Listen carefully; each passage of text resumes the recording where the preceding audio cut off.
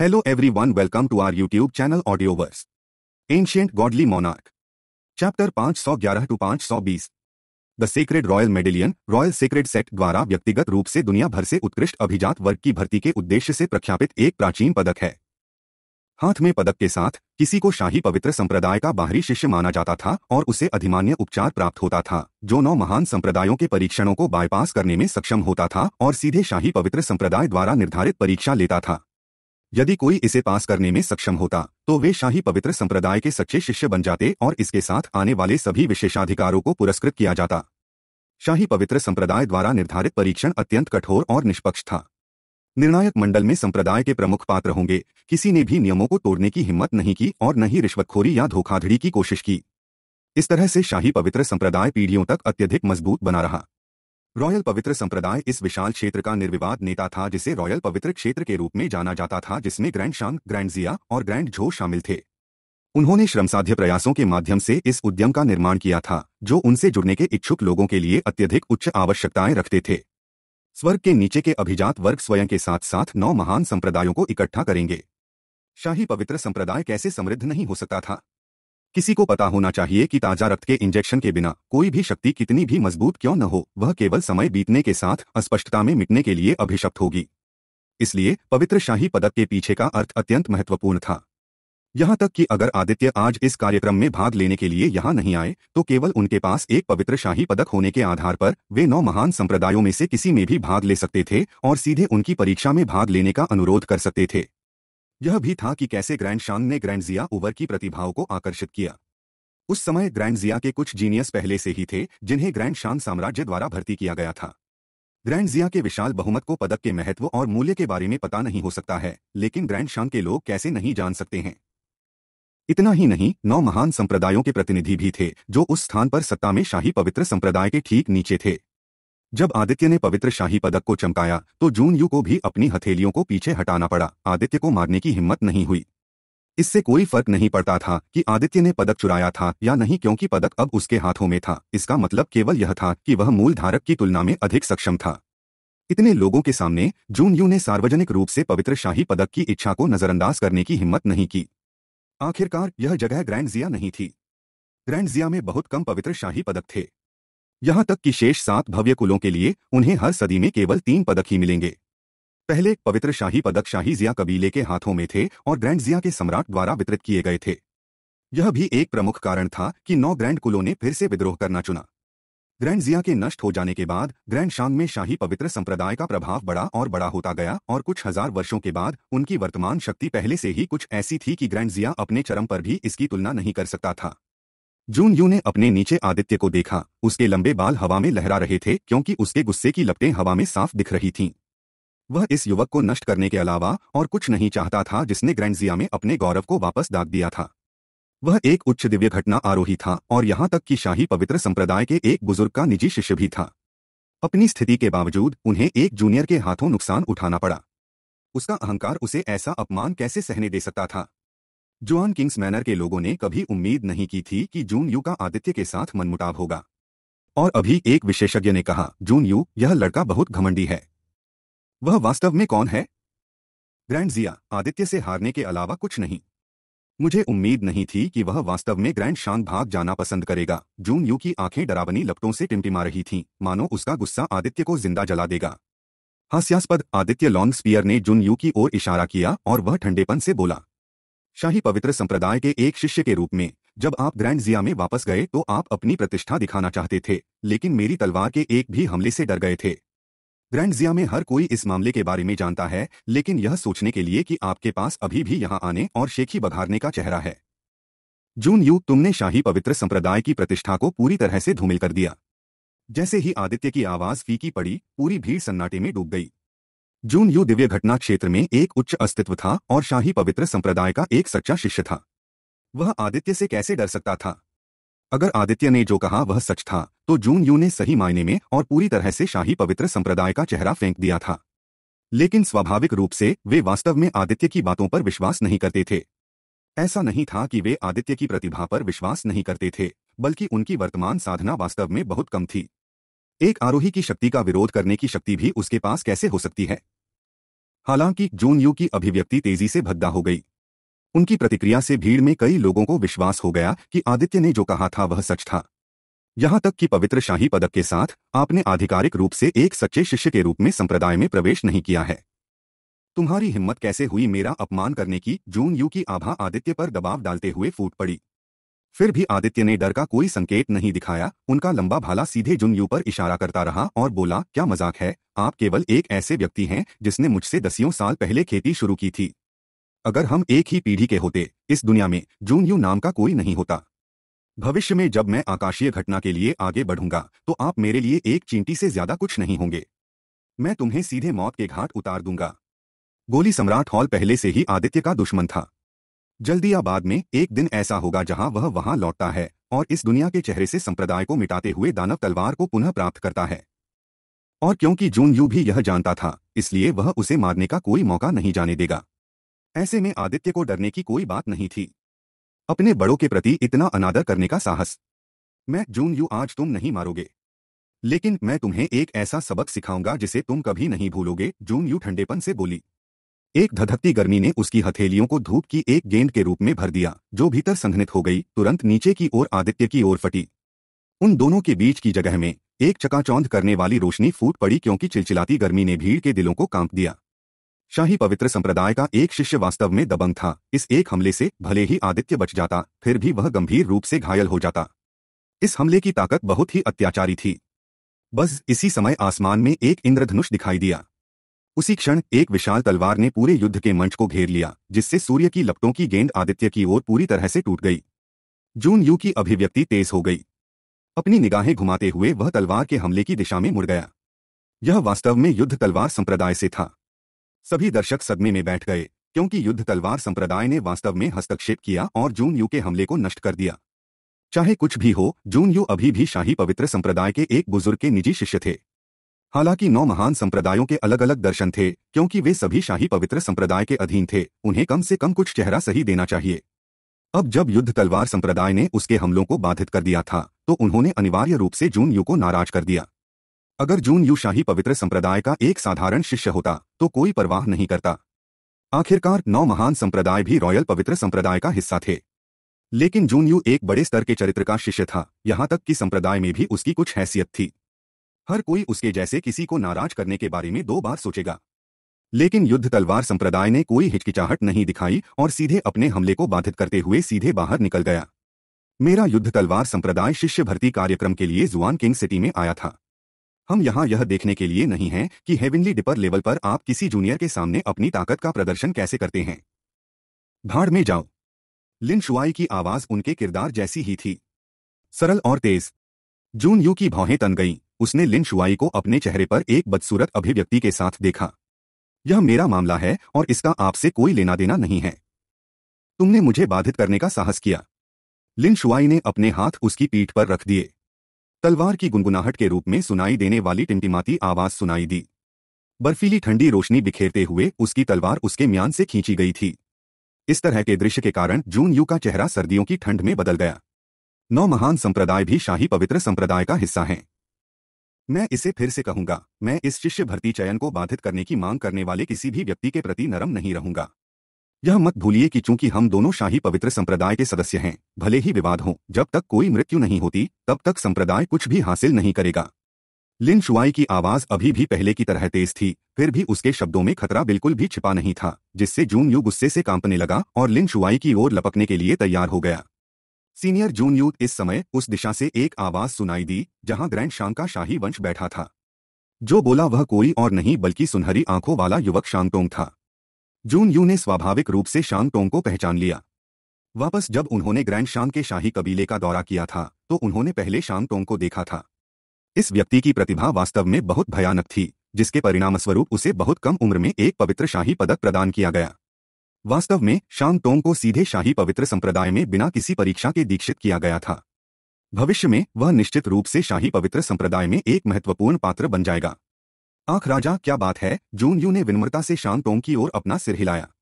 चूँकि आज नौ महान संप्रदायों की शिष्य भर्ती चयन घटना है, कृपया इस मामले को हल करने के लिए कनिष्ठों को अनुमति दें शांग तोंग की सुनहरी आँखें तेज से चमक उठी।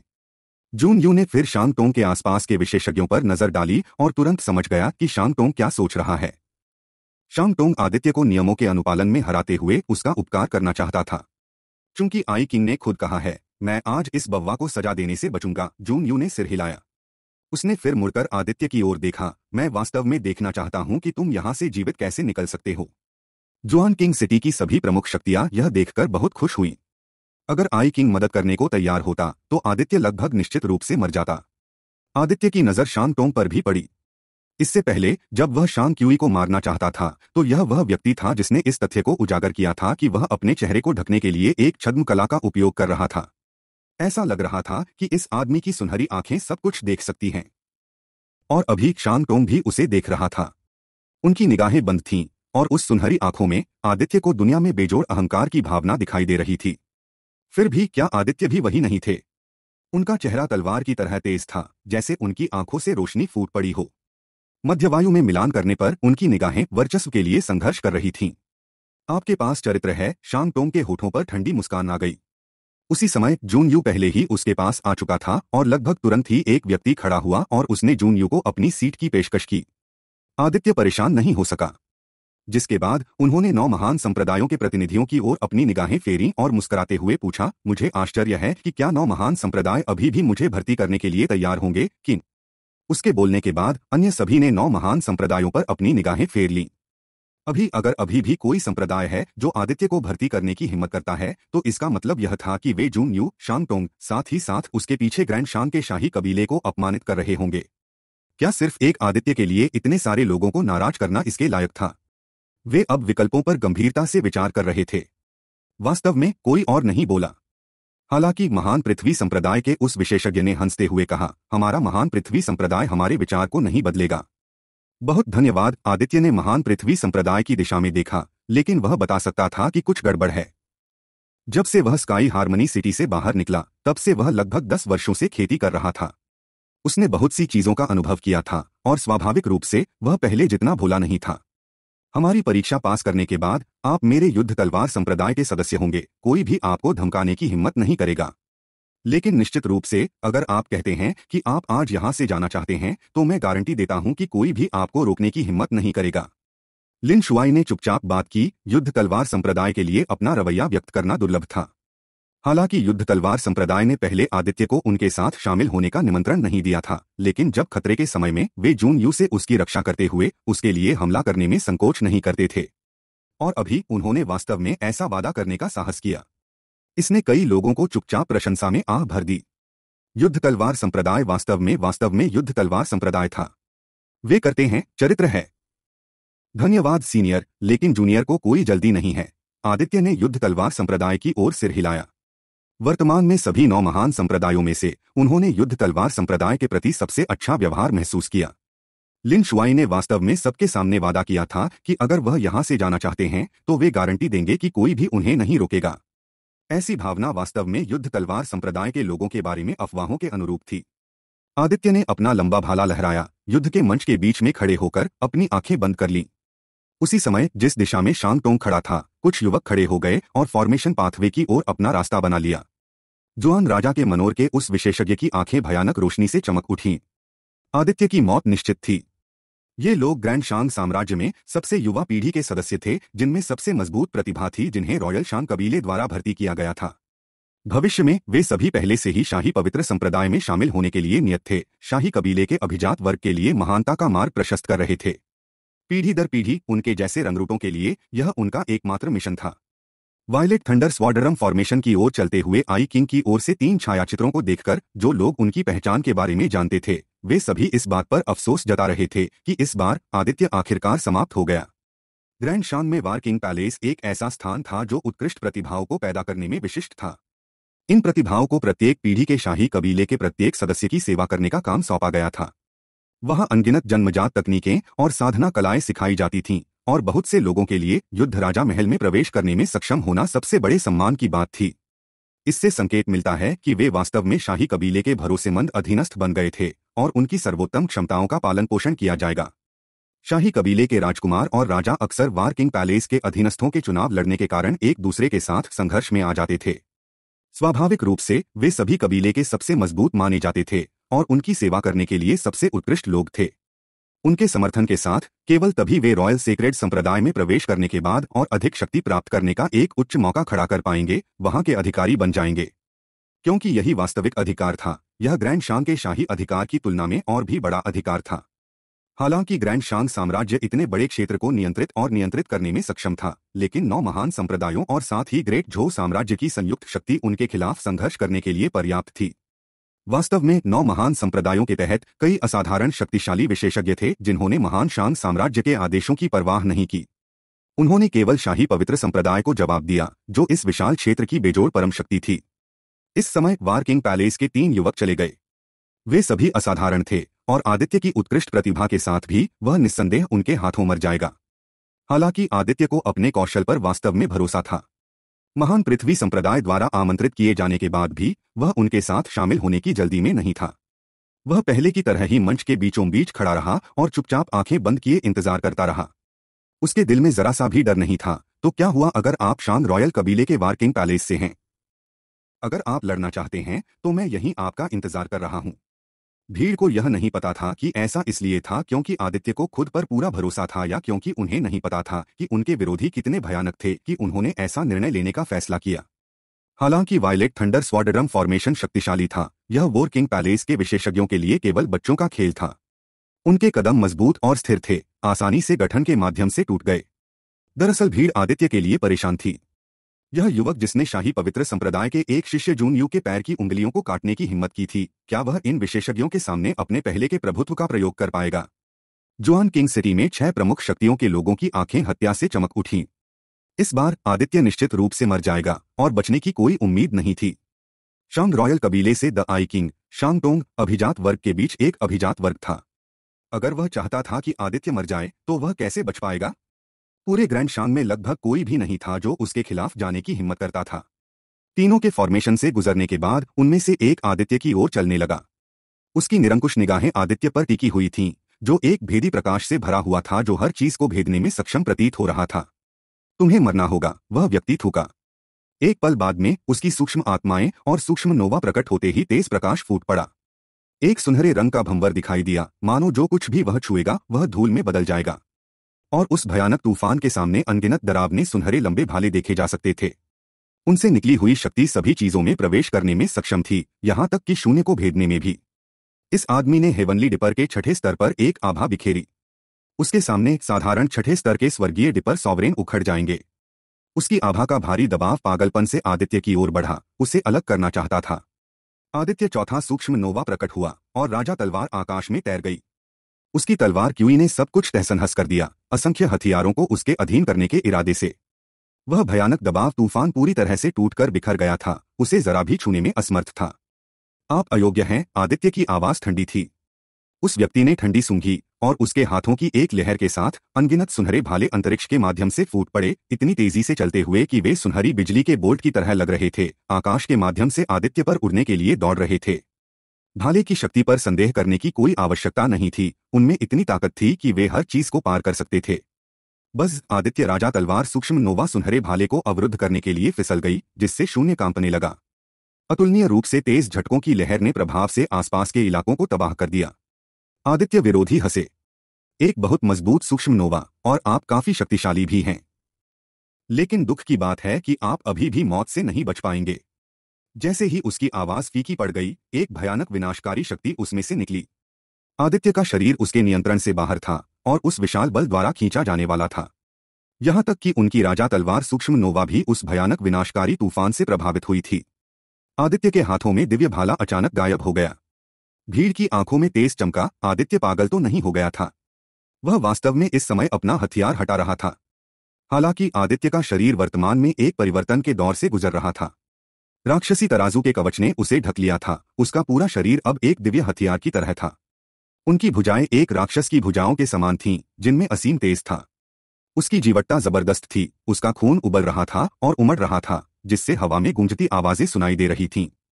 वह एक प्राचीन आदिम राक्षस राजा, राक्षसों के अधिपति का वंशज प्रतीत होता था। आप काफ़ी दूर हैं, आदित्य ने एक कदम आगे बढ़ाया, उस कदम की ताकत से पूरा मंच काँप उठा। उन्होंने उस शक्तिशाली विनाशकारी ऊर्जा तूफ़ान की अवहेलना की और आगे बढ़ते रहे। उनकी भावों के केंद्र में उनके जनादेश की भयावह इच्छा शक्ति फूट पड़ी, जो उनके प्रतिद्वंद्वी के दिमाग में जबरन घुस गई। हालाँकि उनके प्रतिद्वंद्वी की इच्छा शक्ति भी बेहद मज़बूत थी। उन्होंने आक्रमणकारी इच्छा का विरोध किया, एकाग्रता में गहराई से अपनी भौहें सिकोड़ लीं। इतना ही नहीं, वह चल फिर भी सकता था।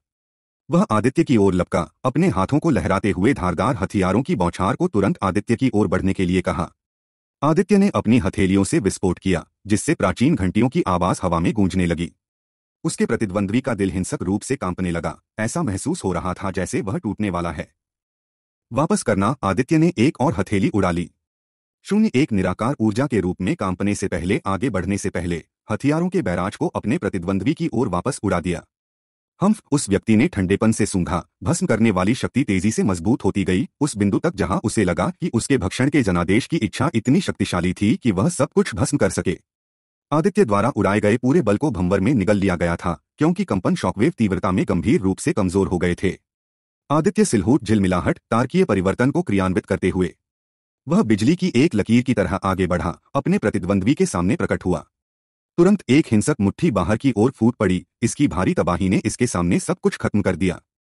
इस मुक्के की ताकत को भांपते हुए उनके प्रतिद्वंद्वी के चेहरे पर कोई बदलाव नहीं आया। उसने अपनी हथेलियों को बाहर की ओर मोड़ा। उन्हें विस्फोटक गति के साथ, एक साथ जकड़ने से पहले, आदित्य स्ट्राइक को पार करने से पहले उन्हें अपने सामने पकड़ लिया। भयानक भक्षण की लहर उठ सकती थी, और आदित्य को भी ऐसा लगा जैसे उसका खून पूरी तरह से पी लिया जाएगा। आदित्य के मुक्के की शक्ति लगातार अवशोषित की जा रही थी, जिससे उसकी मुट्ठी की शक्ति क्षीण हो रही थी।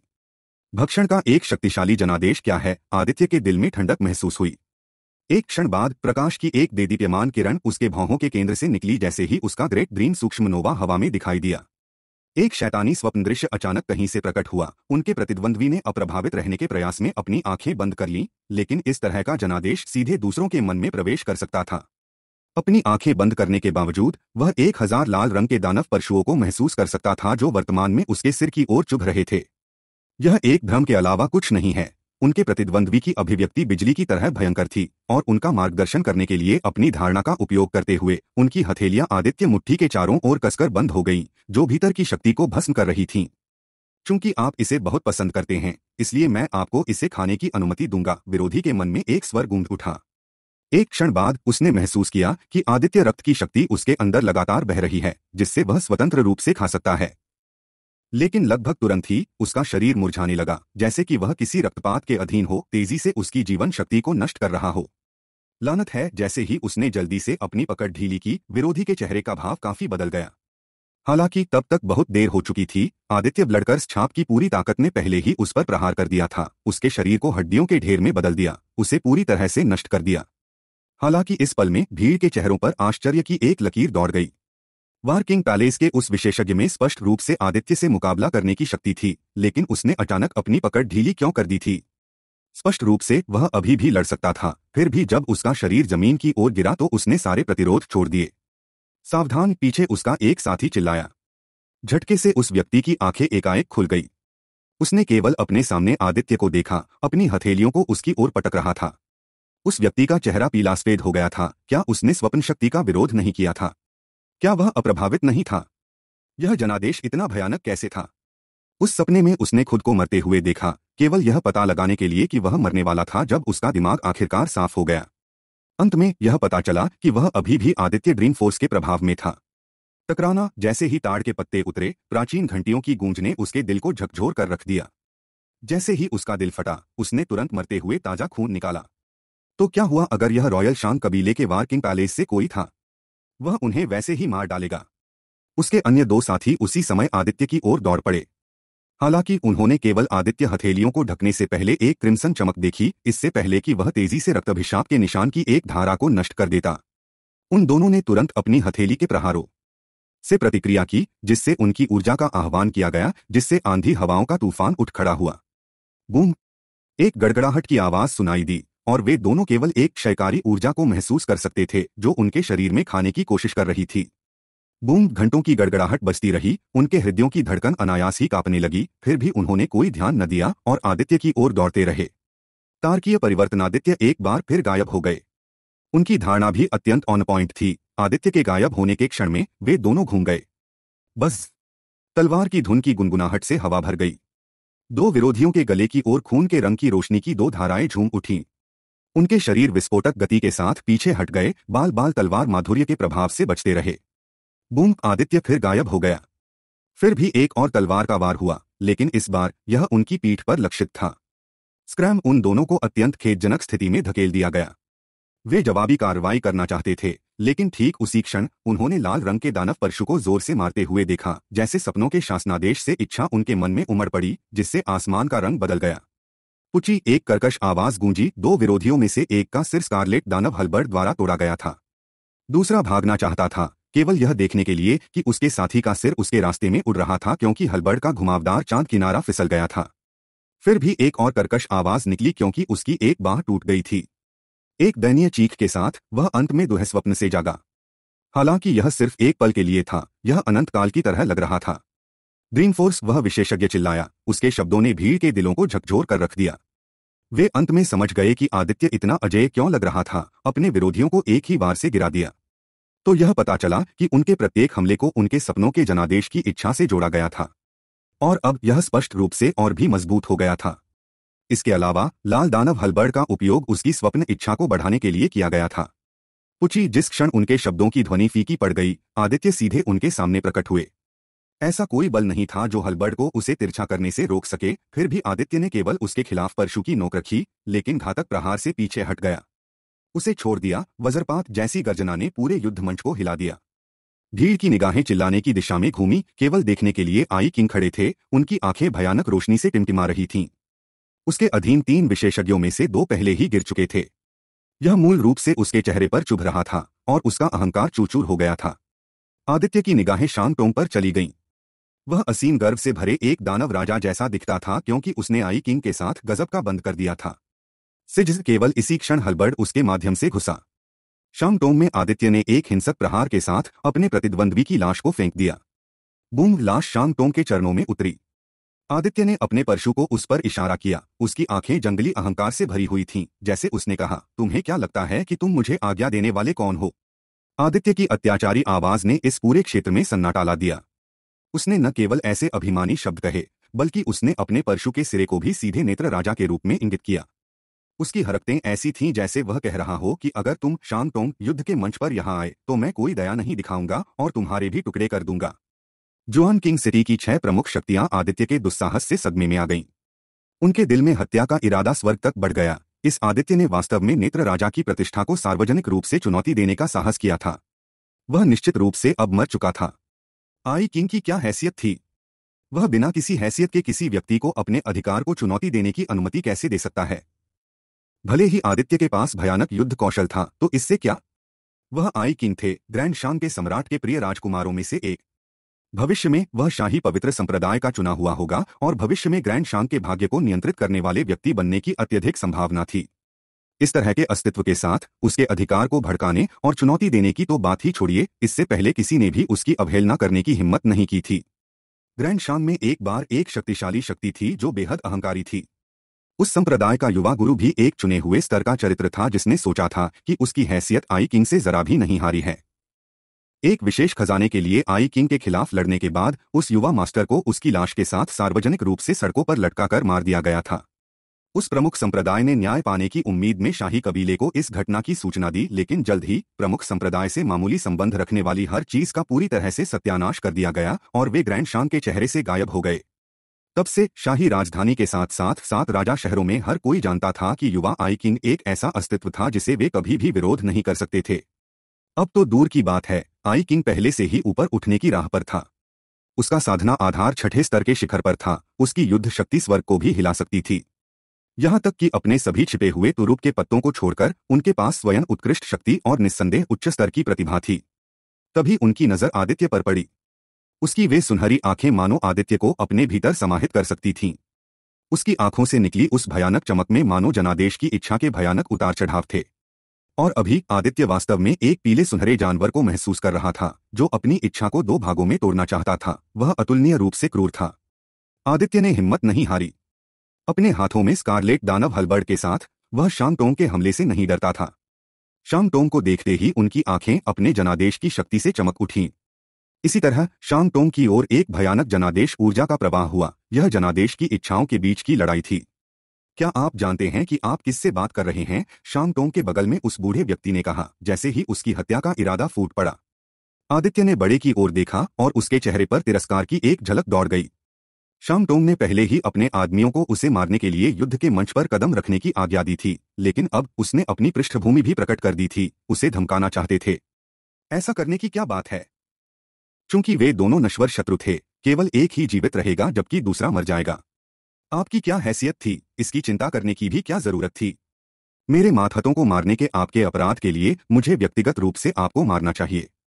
लेकिन अगर मैं व्यक्तिगत रूप से कुछ करता हूँ तो मैं केवल अपनी स्थिति को नीचा दिखाऊँगा। शांतोंग ने तिरस्कार पूर्वक बात की, जैसे कि वह आदित्य को यह बताने की कोशिश कर रहा था कि उसे आसानी से मारा जा सकता है, लेकिन उसकी महान स्थिति के कारण उसने आदित्य के साथ व्यक्तिगत रूप से व्यवहार करना शर्म की बात समझी। हिम्मत है तो ऊपर आओ, नहीं तो बकवास बंद करो। कौन नहीं जानता कि बहादुरी के शब्द कैसे बोले जाते हैं? आदित्य ने शानदार जवाब दिया। वास्तव में कौन नहीं जानता कि बहादुरी के शब्दों को कैसे बोलना है? मैं एक बार लाखों शत्रुओं द्वारा घेर लिए जाने के बाद युद्ध के मैदान से बाहर निकल आया था। मैंने वहाँ बिताया हर पल नरक में एक पल की तरह महसूस किया, और जिन्हें मैंने मार डाला, उनके सभी खेती के आधार मेरे अपने से ऊँचे थे। यदि आप आज जीवित रह सकते हैं तो आप मेरे विरोधी बनने के योग्य हो सकते हैं। मैं तुम्हें तब मार डालूँगा। शाम टोंग ने कहा। वह शांग रॉयल कबीले का चुना हुआ आई किंग था, जो पूरे ग्रैंड शांग में युवा पीढ़ी के सबसे शानदार अस्तित्वों में से एक था। हालाँकि आदित्य ने अपनी उच्च स्थिति और खेती के आधार में लाभ को देखते हुए अपने अधिकार को चुनौती दी थी। यह स्वाभाविक रूप से उनके लिए व्यक्तिगत रूप से हड़ताल करना, आदित्य को दबाना एक साधारण बात थी। फिर भी उसकी हरकतें निस्संदेह दूसरों की निंदा अर्जित करेंगी, उसकी खुद की स्थिति को नीचा दिखाएगी। हालाँकि वह स्पष्ट रूप से आदित्य को इतनी आसानी से नहीं छोड़ेंगे। इसलिए उन्होंने कहा कि अगर आदित्य आज जीवित रह सकते हैं तो वे उनके प्रतिद्वंद्वी बनने की योग्यता हासिल कर लेंगे। क्षमा करें, मैंने आपको पहले कभी अपने प्रतिद्वंद्वी के रूप में नहीं देखा। यदि आप हेवनली डिपर के चौथे स्तर पर हैं तो मैं आपको एक ही स्तंभ से मौत के घाट उतार सकता हूँ। आदित्य ने धीरे से जवाब दिया, उनकी बातें बेहद बेशर्म थीं। फिर भी भीड़ मदद नहीं कर सकती थी, लेकिन चुपचाप अपने दिल में सिर हिलाती थी। आदित्य ने दिखाया था कि वह एक भाले के प्रहार से पाँचवें स्तर की सॉवरेन को समाप्त करने के लिए पर्याप्त शक्तिशाली था, इतना ही नहीं, यहाँ तक कि वार किंग पैलेस के छठे स्तर के सॉवरेन भी उसके लिए कोई मुकाबला नहीं थे।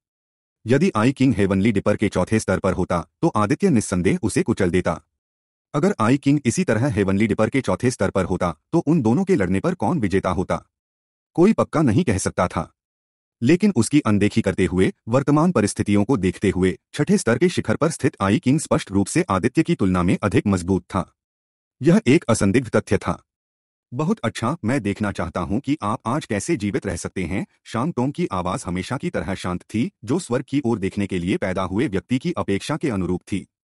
उसने भीड़ की ओर अपनी निगाहें घुमाई, जैसे उसने पेशकश की, यह राजा उस व्यक्ति को प्रदान करेगा जो उसे मारने में सक्षम है। एक स्वर्ग की मरम्मत की गोली। शांग टोंग के शब्दों ने भीड़ के बीच हंगामा खड़ा कर दिया। दरअसल, कई लोगों के चेहरे पर लालच के भाव थे।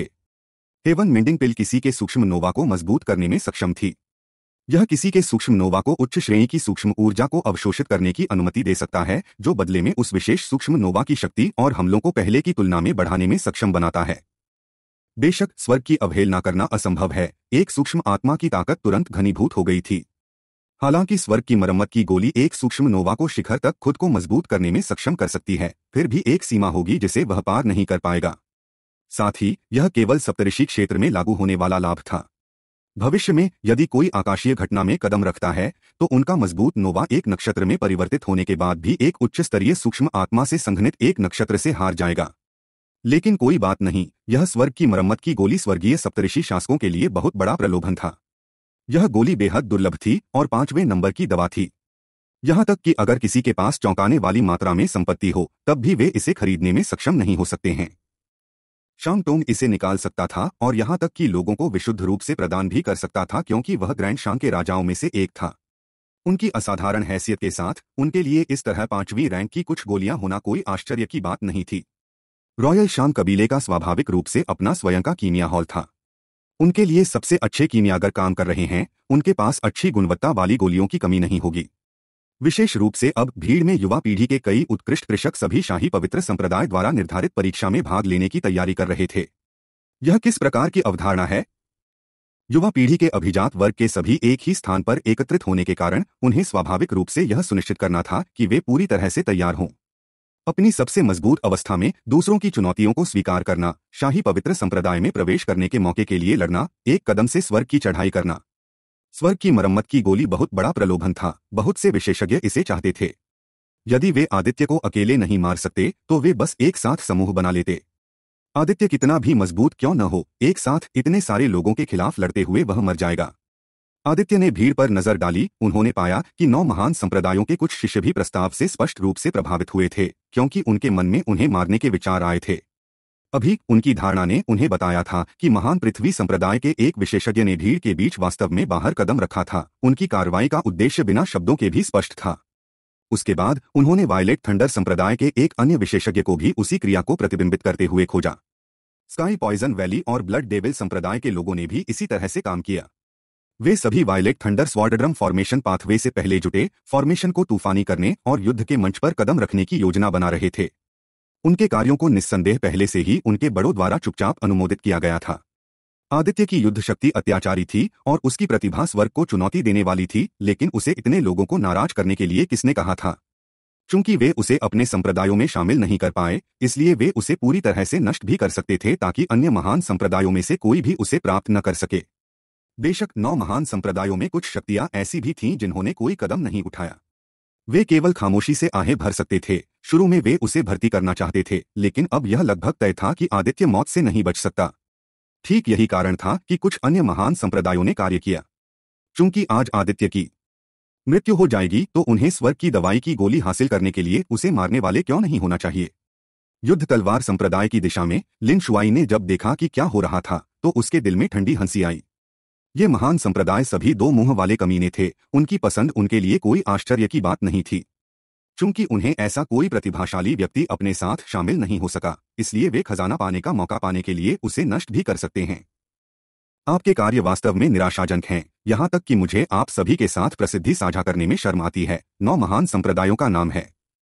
यदि अन्य आठ संप्रदायों के सदस्य ऐसा करते हैं तो जाओ उनके खिलाफ अपना कौशल आजमा लिन शुआई ने अपने पीछे खड़े लोगों से बात की, उनके शब्दों ने भीड़ को अचंभित कर दिया। युद्ध तलवार संप्रदाय आदित्य की सहायता करने के अपने इरादे को छिपाने की भी जहमत नहीं उठा रहा था। यदि चीज़ें जारी रहीं तो आज शिष्य भर्ती कार्यक्रम को नौ महान संप्रदायों के बीच युद्ध के पैमाने तक उड़ाया जा सकता है।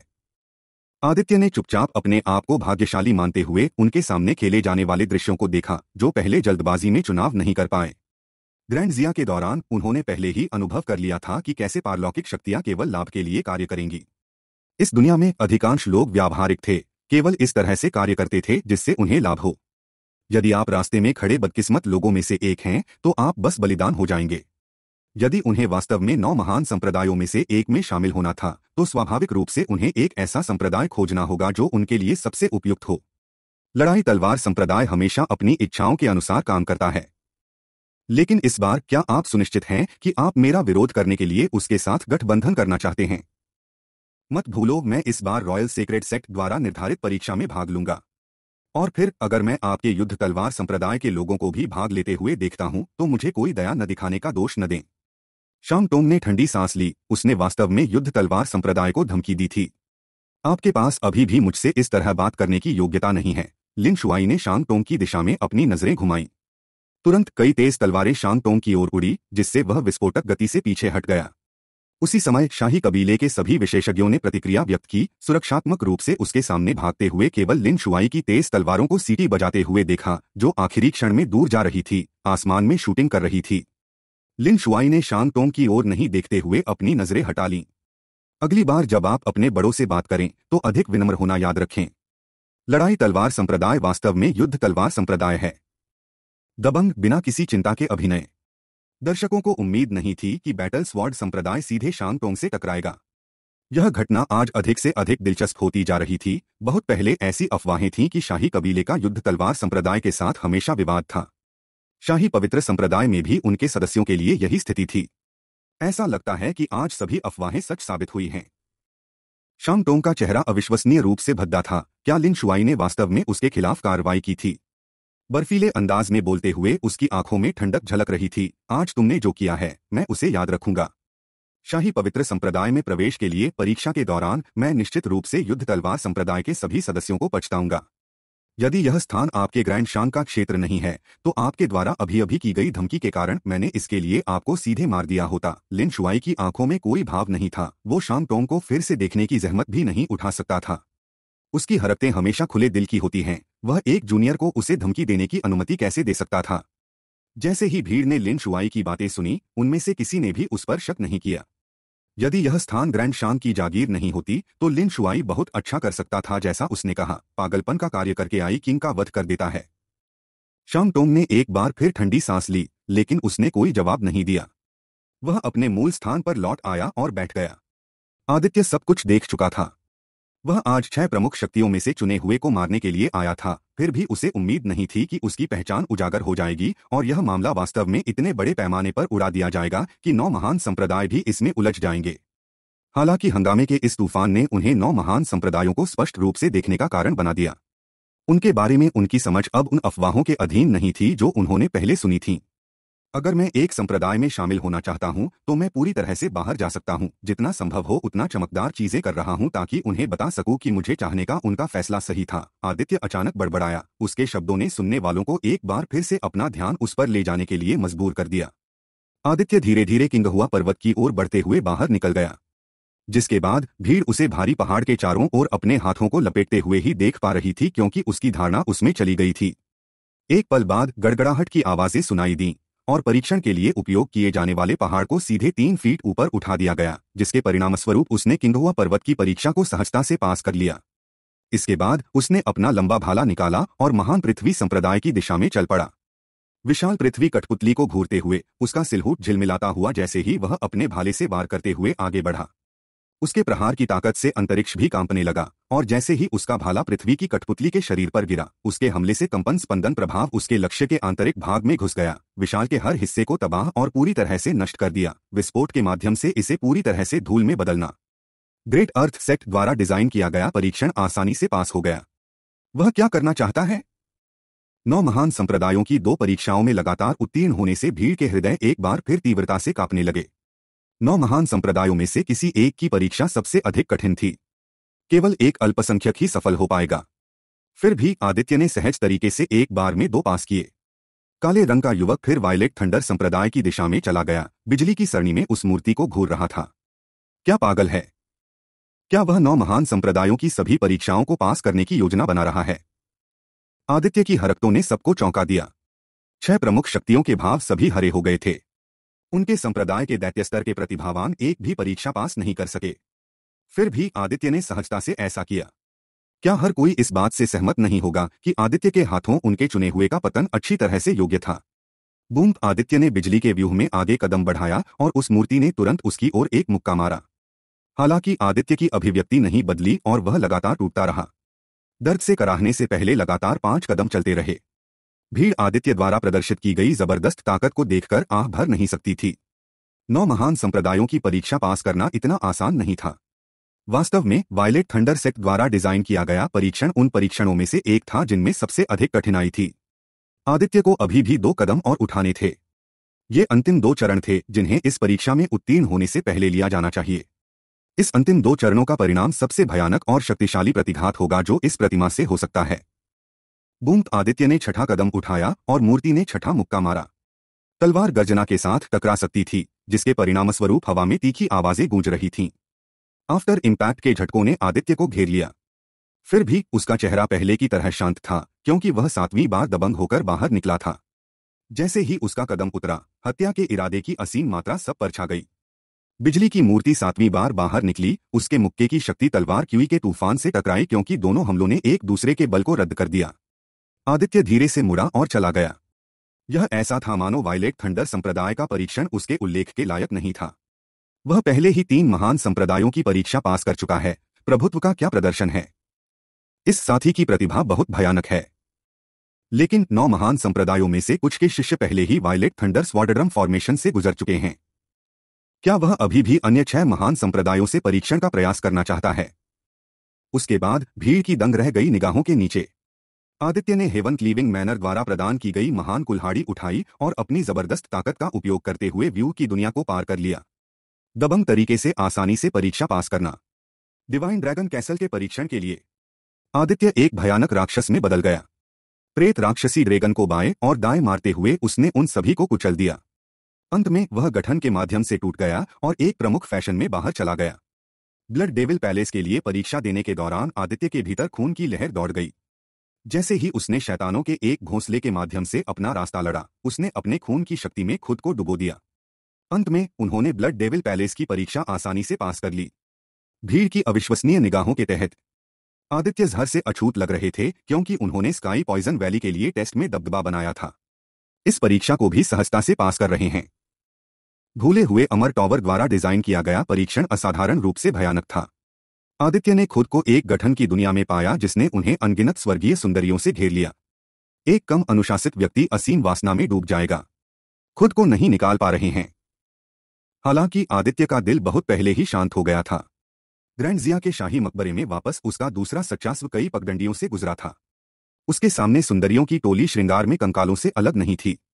नापाक इच्छाओं के आगे झुके बिना उन्होंने भूले हुए अमर टॉवर की परीक्षा पास की। नौ महान संप्रदायों द्वारा डिज़ाइन किए गए नौ परीक्षणों में से कुल आठ को लगातार उत्तीर्ण करना। और अंत में, वह युद्ध तलवार संप्रदाय की दिशा में चल पड़ा। युद्ध तलवार संप्रदाय द्वारा डिज़ाइन किया गया, यह परीक्षण किसी के दिल की दृढ़ता का परीक्षण करता है। यदि किसी का हृदय पर्याप्त रूप से दृढ़ नहीं था तो मृत्यु ही एकमात्र परिणाम थी। लिन शुआई ने इसकी घोषणा तब की थी, जब उन्होंने पहली बार इस परीक्षण का निर्माण किया था। लेकिन आदित्य ने बिना किसी हिचकिचाहट के निर्णायक रूप से अंदर कदम रखा। वह तलवार की रोशनी की पंक्ति के बाद पंक्ति में आगे बढ़ा। लाखों करोड़ों तलवार की ची को अपने शरीर में घुसने देना। फिर भी उनका हृदय किंचित मात्र भी विचलित नहीं हुआ। अंतत उन्होंने युद्ध तलवार संप्रदाय द्वारा डिज़ाइन किए गए परीक्षण से गुजरते हुए अंतिम कदम उठाया। नौ महान संप्रदायों द्वारा डिज़ाइन किए गए परीक्षण सभी आदित्य द्वारा पारित किए गए थे। विशाल मंच पर हर तरफ़ सन्नाटा पसरा था। आदित्य ने नौ महान संप्रदायों द्वारा डिज़ाइन किए गए सभी परीक्षणों को आसानी से पास कर लिया, जिससे भीड़ के दिलों पर आघात की लहर दौड़ गई। इससे पहले जो लोग नौ महान संप्रदायों में से एक परीक्षा पास करने में कामयाब रहे थे, वे सभी आत्मसंतुष्ट महसूस कर रहे थे। लेकिन अभी उनकी आत्मसंतुष्टि की भावना शून्य में गायब हो गई। आदित्य की तुलना में उनकी उपलब्धियाँ उल्लेख के योग्य नहीं थीं। पागल आदमी। जीसु आदित्य की उपलब्धियों से बुरी तरह स्तब्ध थी।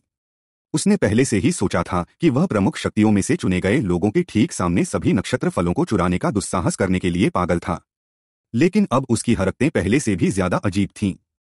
यह आदमी, जो फेंग उसी तरह स्तब्ध था, जैसे उसके दिल में सदमे की बड़ी लहर उठी। उसे हमेशा लगता था कि उसकी प्रतिभा खराब नहीं है, लेकिन अभी वह केवल यह देख सकता था कि यह कितना हास्यास्पद है। वास्तव में, वे वास्तव में उत्कृष्ट पात्र उससे कई प्रकाश वर्ष आगे थे। आदित्य के नश्वर शत्रुओं के लिए भी वे सभी उसी तरह उससे चकित थे। जुआन किंग सिटी की छह प्रमुख शक्तियों के विशेषज्ञों के चेहरे अत्यधिक बदसूरत थे। उनके दिलों में हत्या का इरादा मज़बूत और मज़बूत होता गया। आदित्य को घूरते हुए शांग यू की खूबसूरत आँखें जम गईं। एक बार आदित्य ने स्थानिक ब्रश के लिए उसका विरोध किया। वापस तो वह सभी उच्च और शक्तिशाली थी। यह सोचकर कि आदित्य वास्तव में नहीं जानता कि मृत्यु क्या है। उसने कुछ ऐसा छीनने की हिम्मत की जो वह चाहती थी। लेकिन अभी उसे अपनी हीनता पर शर्म आ रही थी। यह कोई ऐसा व्यक्ति था जिसने अपने परशु को सीधे जून यू की ओर इंगित करने का साहस किया। शाही पवित्र संप्रदाय के एक बुज़ुर्ग के निजी शिष्य का खंडन करना। आदित्य ने जो कुछ किया था, वह कुछ ऐसा था जिसे वह कभी करने की हिम्मत नहीं करेगी। आप कितने भी पागल क्यों न हो, आपको आज यही मरना होगा, जून यू का चेहरा अविश्वसनीय रूप से भद्दा था। उस समय ग्रैंडजिया में उसे आदित्य पागलपन का स्वाद चखा था। आदित्य ने महान सौर चेन कबीले को बर्बाद करते हुए अमर विजय तलवारबाजी के एक ही रुख को उजागर करने के लिए सब कुछ त्यागने में कोई आपत्ति नहीं की। लेकिन चूँकि वह उनका नश्वर शत्रु था, इसलिए संकोच करने की कोई आवश्यकता नहीं थी। उसके पास जितनी अधिक प्रतिभा है, उसे उतनी ही जल्दी मर जाना चाहिए। जून यूँ नहीं चाहता था कि आदित्य और परिपक्व हो और भविष्य में परेशानी का कारण बने। नौ महान संप्रदायों के कई विशेषज्ञ पहले ही मार्ग निर्माण के माध्यम से अपना रास्ता बना चुके थे। हालाँकि उन्होंने व्यक्तिगत रूप से देखा था कि आदित्य कितना मज़बूत था, लेकिन इससे उनकी हत्या करने की मंशा जरा भी कम नहीं हुई। उन्हें स्वर्ग की मरम्मत की गोली पर अपना हाथ रखना था। केवल इस तरह से वे शाही पवित्र संप्रदाय द्वारा निर्धारित परीक्षा उत्तीर्ण करने और एक आधिकारिक सदस्य बनने की संभावना बढ़ा सकते हैं। आदित्य को घेरने की चाहत में वे धीरे धीरे आगे बढ़े। यह स्पष्ट था कि उन्होंने उसे एक के बाद एक शामिल करने की योजना नहीं बनाई थी। शांग टोंग के तीन मातहतों की मौत उनके दिमाग में ताज़ा होने के साथ उन्होंने जोखिम लेने की हिम्मत नहीं की। भले ही उनकी हरकतें शर्मनाक थीं, इस समय वे कम परवाह नहीं कर सकते थे। नौ महान संप्रदायों में से अधिकांश के प्रमुख प्रतिनिधियों ने अपने हृदय में ऐंठन महसूस की। वे इस बात को लेकर बहुत स्पष्ट थे कि आदित्य की प्रतिभा कितनी उच्च है। और अभी वे यह महसूस किए बिना नहीं रह सकते थे कि वे कुछ उत्कृष्ट से चुक गए हैं। लेकिन वे इसकी इतनी परवाह नहीं कर सकते थे, उनके पास पीछे हटने का कोई रास्ता नहीं था। चूँकि वे उसे अपने साथ शामिल करने में असमर्थ हैं, वे उसे बहुत अच्छी तरह से नष्ट कर सकते हैं। यदि नहीं तो यदि अन्य महान संप्रदायों में से एक ने ऐसी राक्षस स्तर की प्रतिभा हासिल कर ली तो यह बहुत संभव था कि आदित्य एक ऐसा अस्तित्व बन जाए जो उन्हें डराने में सक्षम हो। ऐसे में दस में से नौ आदित्य युद्ध तलवार संप्रदाय में शामिल होना पसंद करेंगे। आखिरकार, उनकी ज़रूरत के समय में, युद्ध तलवार संप्रदाय ही एकमात्र संप्रदाय था जिसने उनके पक्ष में कदम रखा। ऐसा प्रतीत होता है कि आदित्य ने विशेषज्ञों की हड़बड़ी की भी परवाह नहीं की। युद्ध तलवार संप्रदाय से परीक्षा पास करने के बाद, लिन शुआई को घूरते हुए उसके चेहरे पर मुस्कान आ गई। मुझे आश्चर्य है कि क्या जूनियर का प्रदर्शन मेरे लिए युद्ध तलवार संप्रदाय में भर्ती होने के लिए पर्याप्त संतोषजनक था। जैसे ही उसकी आवाज़ की आवाज़ फीकी पड़ गई, एक बार फिर पूरे अंतरिक्ष में सन्नाटा छा गया। दरअसल, आदित्य ने युद्ध तलवार संप्रदाय में शामिल होना चुना था। युद्ध तलवार संप्रदाय के सभी विशेषज्ञ चेहरे पर मुस्कान लिए खड़े हो गए। लिन शुआई भी मुस्कुरा रही थी, जिस वजह से वो इतनी दूर से यहाँ आई थी, वो पूरी तरह से आदित्य के लिए थी। आदित्य न भी पूछते तो भी चढ़ा देते। आखिर पहले आदित्य ने युद्ध तलवार संप्रदाय की परीक्षा पास की थी। लिन शुआई ने समझा कि आदित्य के पहले के प्रदर्शन से उनकी प्रतिभा का प्रदर्शन हो रहा है, वह अपनी पहल के युद्ध तलवार संप्रदाय में शामिल होने का विकल्प चुन रहे हैं। इसलिए यही कारण था कि वह अन्य आठ संप्रदायों के परीक्षणों के माध्यम से तूफानी हो गया। उन्हें सबसे चमकदार हाइलाइट्स के रूप में उपयोग करने की इच्छा रखते हुए सभी को यह बताने के लिए कि उन्होंने युद्ध तलवार संप्रदाय में शामिल होने के लिए चुना था। और उम्मीद के मुताबिक युद्ध तलवार संप्रदाय तुरंत भीड़ का केंद्र बिंदु बन गया। हम उम्मीद के मुताबिक अन्य आठ महान संप्रदायों के प्रमुख प्रतिनिधियों ने अपने दिलों में ठंडक महसूस की। आदित्य ने वास्तव में युद्ध तलवार संप्रदाय में शामिल होना चुना है। उस स्थिति में उसे उनके निर्णयों के लिए उन्हें दोष नहीं देना चाहिए। सहज रूप में लिन शुआई हंस पड़ी। उन्होंने फिर जारी रखा, चूँकि अब आप मेरे युद्ध तलवार संप्रदाय के सदस्य हैं, मैं वास्तव में यह देखना चाहता हूँ कि कौन आपको छूने की हिम्मत करेगा। इतने लोगों को मारना, वह एक पागल हत्यारे से ज़्यादा कुछ नहीं है। आपके लिए यह सोचना हास्यास्पद है कि वह आज इस स्थान को सुरक्षित रूप से छोड़ सकता है। लिन शुआई, मुझे डर है कि यहाँ तुम्हारे होते हुए भी तुम इस बव्वा की रक्षा करने में असमर्थ हो जाओगी, जून यू की ठंडी आवाज़ सुनाई दी। वे आदित्य को युद्ध तलवार संप्रदाय के साथ सुरक्षित रूप से यहाँ से कैसे जाने दे सकते हैं? यद्यपि यह युवक असाधारण है और युद्ध तलवार संप्रदाय की परीक्षा पास कर चुका है, उसके द्वारा पहले निर्दोष लोगों को मारने का मामला अभी समाप्त नहीं हुआ है। वायलेट थंडर संप्रदाय के एक विशेषज्ञ ने बात की, जो आदित्य को पीछे रहने के लिए मजबूर करना चाहता था। निर्दोषों की हत्या। लिन शुआई के चेहरे पर एक ठंडी मुस्कान आ गई। केवल मोटी चमड़ी वाले बेशर्म हरामी ही ऐसा कुछ कह पाएँगे। आपका मतलब है कि आप चाहते थे कि वह वहाँ खड़ा रहे और निर्दोषों को उनकी मर्ज़ी से मारने की अनुमति दे। कई छठे स्तर के स्वर्गीय सप्तऋषि शासकों ने हाथ मिलाया, लेकिन फिर भी उनके हाथों मर गए। अब जब आप सभी ने आठ महान संप्रदायों के शिष्यों को संगठित किया जो उन्हें मारना चाहते थे, क्या तुम सब में अब भी अपना अहंकार है? युद्ध तलवार संप्रदाय के एक बूढ़े व्यक्ति ने ठंडी सूंघी। इन लोगों की हरकतों ने उसे पूरी तरह से अवाक कर दिया। कोई बात नहीं, क्योंकि इतने सारे विशेषज्ञ पहले ही मंच पर कदम रख चुके हैं, वे कुछ भी सही नहीं कर सकते, किंगहुआ पर्वत का एक विशेषज्ञ हंसा, उसके शब्दों से आदित्य की आँखों में चमक आ गई। ऐसा लगता है कि दो बार उनके निमंत्रणों को अस्वीकार करने के बाद, किंगहुआ पर्वत के प्रमुख प्रतिनिधियों ने अपने दिलों में नफरत पाल रखी थी। लेकिन ठीक इसी समय, आदित्य ने विस्मय से टिमटिमाते हुए देखा, जब उन्होंने बाइलेट थंडर तलवारड्रम फॉर्मेशन की ओर देखा। एक अकेला सिलहूट गठन के माध्यम से धीरे धीरे अपने रास्ते पर चलते हुए देखा जा सकता था। किंगर आदित्य ने उस छायाचित्र को देखा जो बर्फीले पर्वत के ऊपर बर्फीले कमल जैसा था। किंगर आगे बढ़ी और एक क्षण बाद वह आदित्य के पास खड़ी हो गई। उसकी हरकतें भीड़ के बहुमत को उसके अस्तित्व पर ध्यान देने का कारण बनती हैं। क्या सुंदर युवती है। वह इतनी बर्फीली ठंड क्यों दिखती है, जैसे बर्फ़ के तूफ़ान के बीच एक सुंदरता। वह कहाँ से आई थी? जुआन किंग सिटी से शान यू पहले से ही बेहद खूबसूरत है। लेकिन जब आप उसकी तुलना इस युवती से करते हैं तो चमक चंद्रमा की तुलना में जुगनू की रोशनी जैसी होती है। किंगेर को घूरते हुए बहुत से लोगों की आँखों में एक खाली नज़र होती है, वे अपनी निगाहें हटा पाने में असमर्थ होते हैं। यहाँ तक कि नौ महान संप्रदायों के विशेषज्ञ भी इसी तरह चकित थे। शांगटोंग की सुनहरी आँखें एक तेज रोशनी से चमक उठी। साधना का मार्ग लंबा और कठिन है। उसने पहले अनगिनत सुंदरियों को देखा था। अनगिनत सुंदरियों के स्वाद में डूबे हुए वह कभी भी खुद का आनंद लेना नहीं भूले थे। यही कारण था कि वह चाहता था कि जुआन राजा की जागीर शान यू को उसकी पत्नी बनने के लिए भेजे। लेकिन किंगेर को देखने के बाद उसे शान यू में कोई दिलचस्पी नहीं रह गई थी। अरे मिस, क्या मैं आपका नाम पूछ सकता हूँ? क्या आप मेरे शांग रॉयल कबीले में शामिल होने के इच्छुक हैं? शांग टोंग ने किंगेर को घूर कर देखा, ज़ाहिर तौर पर उसकी सुंदरता से द्रवित हो गई। फिर भी किंगर ने उसकी ओर देखा तक नहीं, उसने उसकी बातों को पूरी तरह से अनसुना कर दिया। आदित्य ने टोंग पर नज़र डाली, जैसे उसकी आँखों में ठंडी रोशनी की एक झलक झिलमिला रही थी। जिसके बाद उन्होंने किंगेर की ओर देखा और धीमी आवाज़ में पूछा, तुम यहाँ क्यों हो? मैं यहाँ आपकी मदद करने के लिए हूँ। आदित्य को घेरने की योजना बना रहे विशेषज्ञों को घूरते हुए किंग की सुरीली आवाज़ निकली।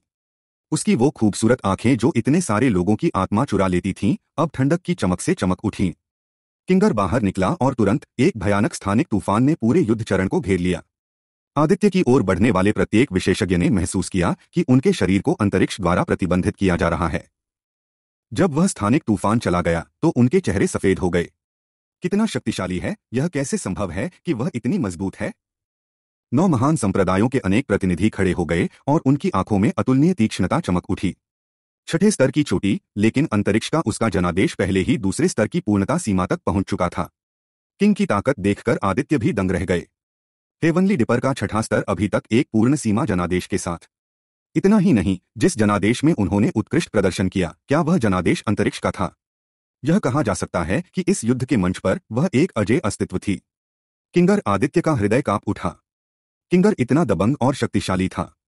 किसी के जनादेश को समतल करने का मार्ग केवल उसकी समझ पर निर्भर करता है। बहुत से लोग संसाधनों की कमी के कारण नहीं, बल्कि अपने जनादेश को समतल करने में आने वाली कठिनाइयों के कारण अपनी खेती में आगे बढ़ने में असमर्थ थे। आमतौर पर, स्वर्गीय सप्तऋषि के शिखर पर केवल लोगों के पास दूसरे स्तर की पूर्णता सीमा पर जनादेश होगा। स्वर्गीय सप्तऋषि के शिखर पर भी कई ऐसे थे, जो अपने शेष जीवन के लिए अपने दूसरे स्तर की अंतर्दृष्टि की परिवर्तन सीमा पर अटके रहने के कारण इसे प्राप्त करने में विफल रहे। हालाँकि किंग रहेवनली डिपर के केवल छठे स्तर पर थी, फिर भी उसका अंतरिक्ष का जनादेश पहले ही पूर्णता तक पहुँच चुका था। कोई केवल कल्पना कर सकता है कि उपस्थित सभी लोगों पर इसका कितना अधिक प्रभाव पड़ा होगा। ऐसे लोगों के लिए जिनका जनादेश उनकी साधना के स्तर को पार कर गया है, इन लोगों के पास आमतौर पर भविष्य में उत्कृष्ट, भयानक उपलब्धियाँ होंगी। उन्हें चिंता करने की आवश्यकता नहीं थी कि क्या वे अपनी साधना में फंसे हुए हैं, तोड़ने में असमर्थ हैं। यह एक दृढ़ नियम था और इसलिए किसी को संदेह नहीं था कि किंगेर निश्चित रूप से भविष्य में आकाशीय घटना में कदम रखने में सक्षम होगा। हालाँकि हेवनली डिपर से सेलेस्टियल फेनोमेनन तक का कदम एक बाधा की तरह था जिसने इतने सारे लोगों को रोक दिया था। यह किंगेर जैसे अस्तित्व के लिए कोई परेशानी नहीं होगी। पूर्णता सीमा पर अंतरिक्ष का जनादेश, यहाँ तक कि शांग टोंग की सुनहरी आँखें भी सदमे से चमक उठी। इससे पहले, वह अभी भी किंगर को शाही कबीले में भर्ती करना चाहता था और उसकी पत्नी बनना चाहता था, लेकिन अब वह समझ गया था कि वह अपने स्तर पर किसी को भी नियंत्रित नहीं कर पाएगा। किंगर छठी परत के शिखर पर एक साधना आधार के साथ और उसके पास पूर्णता सीमा पर अंतरिक्ष का अधिकार है। भले ही वह उसके खिलाफ लड़े, उसे विश्वास नहीं था कि वह अंत में जीतेगा। हालाँकि शांतों के लिए जो असहनीय था, वह यह था कि किंगेर जैसी देवी वास्तव में बाहर निकल आई थी, क्योंकि वह आदित्य की मदद करना चाहती थी। यह उसकी है, किंग के बाहर निकलते ही जून यू ने तुरंत उसे पहचान लिया। वह ग्रैंड जिया में पहले इस महिला से मिला था, और हालाँकि उसने किंगेर को बहुत शक्तिशाली नहीं माना था, फिर भी वह उस पर गहरी छाप छोड़ने में कामयाब रही थी। आखिरकार, वह अपने व्यवहार में असाधारण थी। किंगेर, मैं अभी भी नश्वर खतरे में नहीं हूँ, अपनी आवाज़ उसे सुनाते हुए आदित्य मुस्कुराया। हालाँकि अन्य आठ महान संप्रदायों से दस छठे स्तर के स्वर्गीय सप्तऋषि शासकों से लड़ना उसके लिए खतरनाक था, फिर भी लड़ाई अभी शुरू होनी बाकी थी। अतीत में किंगेर निश्चित रूप से अंतिम संभावित उदाहरण तक प्रकट नहीं होता था, लेकिन आज किंगेर वास्तव में लड़ाई लड़ने से पहले ही प्रकट होना चुन रहा था। उसके फैसले ने उसे चौंका दिया। ऐसा लगता है कि इतने लंबे समय तक उसके साथ बातचीत करने के बाद किंगेर के व्यक्तित्व में भी सूक्ष्म रूप से परिवर्तन हो रहा था। आखिरकार, करीब एक दशक तक किंगेर ने हमेशा उसे छाया से बचाया था। उस समय वह केवल अपने गुरु, परी किंगमेई के आदेशों का पालन कर रही थी, लेकिन अब उसने स्वेच्छा से आदित्य की रक्षा की। इसमें वह अपने स्वामी की आज्ञा के अनुसार नहीं, बल्कि अपने मन की सुन रही थी। ओह, किंगेर की आँखें झपक गईं। और जैसे ही सन्नाटा बढ़ता गया, बस जब आदित्य को लगा कि किंगर कोई जवाब नहीं देने वाला है तो वह अचानक बोली, लेकिन क्या वे आपको धमका नहीं रहे हैं? उसकी सुरीली आवाज़ आदित्य के दिमाग में फैल गई, जिससे वह थोड़ा स्तब्ध रह गया क्योंकि उसके दिल में गर्मी की धाराएँ बह रही थीं। हालाँकि उसके द्वारा बोले गए शब्द संदर्भ के लिए थोड़े अजीब थे, यह निश्चित रूप से किंगेर का व्यक्तित्व था। अपने चेहरे पर एक कोमल मुस्कान के साथ, आदित्य ने अपने सामने सुरक्षात्मक रूप से खड़े उस नाजुक दिखने वाले, लेकिन सुंदर सिलहूट को देखा। बाहर निकलते हुए, वह किंगेर के बगल में कंधे से कंधा मिलाकर खड़ा हो गया, और उन्होंने आठ महान संप्रदायों के छठे स्तर के शासकों का एक साथ सामना किया। किंगर, मुझे हरावल बनने दो, आदित्य धीमी आवाज़ में बोला। किंग ने धीरे से सिर हिलाने से पहले उसकी तरफ़ देखा। मैं तब पीछे से तुम्हारा समर्थन करूँगा। ठीक है, आदित्य ने मना नहीं किया। बाहर कदम रखते ही उनका आभामंडल फूट पड़ा। किंगेर की स्थानिक दीवारें बहुत अविश्वसनीय रूप से घनी थीं, अपने प्रतिबंधों से मुक्त होने के बावजूद विशेषज्ञों द्वारा अपनी ताकत को मिलाने और उन्मादी ढंग से स्थानिक दीवारों पर कई वार करने के बाद भी वे अभी भी अवरोध को तोड़ने में विफल रहे। बस तेज हवा के झोंके से आदित्य आगे की ओर दौड़े, अपने लाल रंग के दानव परशु को भेदते हुए। उसके और उसके लक्ष्य के बीच स्थानिक बाधा तुरंत शून्य में विलीन हो गई, जिससे लाल रंग का दानव हलबर्ड गरीब शिकार पर उतर गया। जैसे ही परशु करीब आया, उसके दिमाग में एक दुहस्वप्न का सपना आया, एक के बाद एक खून और मौत के दृश्य सामने आए। परशु धारण करने के कारण आदित्य राक्षसों के देवता के समान प्रतीत होते थे। उसका सामना करते समय विरोध करने का कोई उपाय नहीं था। सपनों का आदित्य जनादेश मूल रूप से पहले से ही परिवर्तन सीमा पर था। स्कारलेट दानव हलबर्ड द्वारा प्रदान की गई वृद्धि के अलावा उनकी स्वप्निच्छा मूल रूप से अपरिहार्य थी। टकराना दानव हलबर्ड सीधे पीड़ित के सिर में घुस गया। जिससे उसकी तुरंत मौत हो गई। आदित्य की हरकतें बंद नहीं हुई और वह अपने दूसरे लक्ष्य की ओर बढ़ता गया। किंगर आदित्य के पीछे पीछे गया, उसे सुरक्षात्मक रूप से आगे बढ़ाया। जब भी वह किसी लक्ष्य के पास पहुँचता, स्थानिक दीवारें उन तीनों के चारों ओर बंद हो जाती, उन्हें बाहरी दुनिया से अलग कर देती। परफेक्शन बाउंड्री पर अंतरिक्ष के जनादेश से जन्मी, ऐसी जन्मजात तकनीकों ने देखने वालों को पूरी तरह से चकित कर दिया। यह बहुत भयानक था। पुची फिर भी एक और कटने की आवाज़ हवा में गूंज उठी। बहुत तेज़ी से एक और विशेषज्ञ आदित्य लाल दानव परशु के नीचे गिर गया। किंगेर द्वारा प्रदान की गई एकांत जगह में आयोजित यह आदित्य और उसके लक्ष्य के बीच एक निष्पक्ष आमने सामने की लड़ाई थी। फिर भी नौ महान संप्रदायों में से एक होने के बावजूद उसके लक्ष्य के पास उसके खिलाफ खड़े होने का कोई रास्ता नहीं था।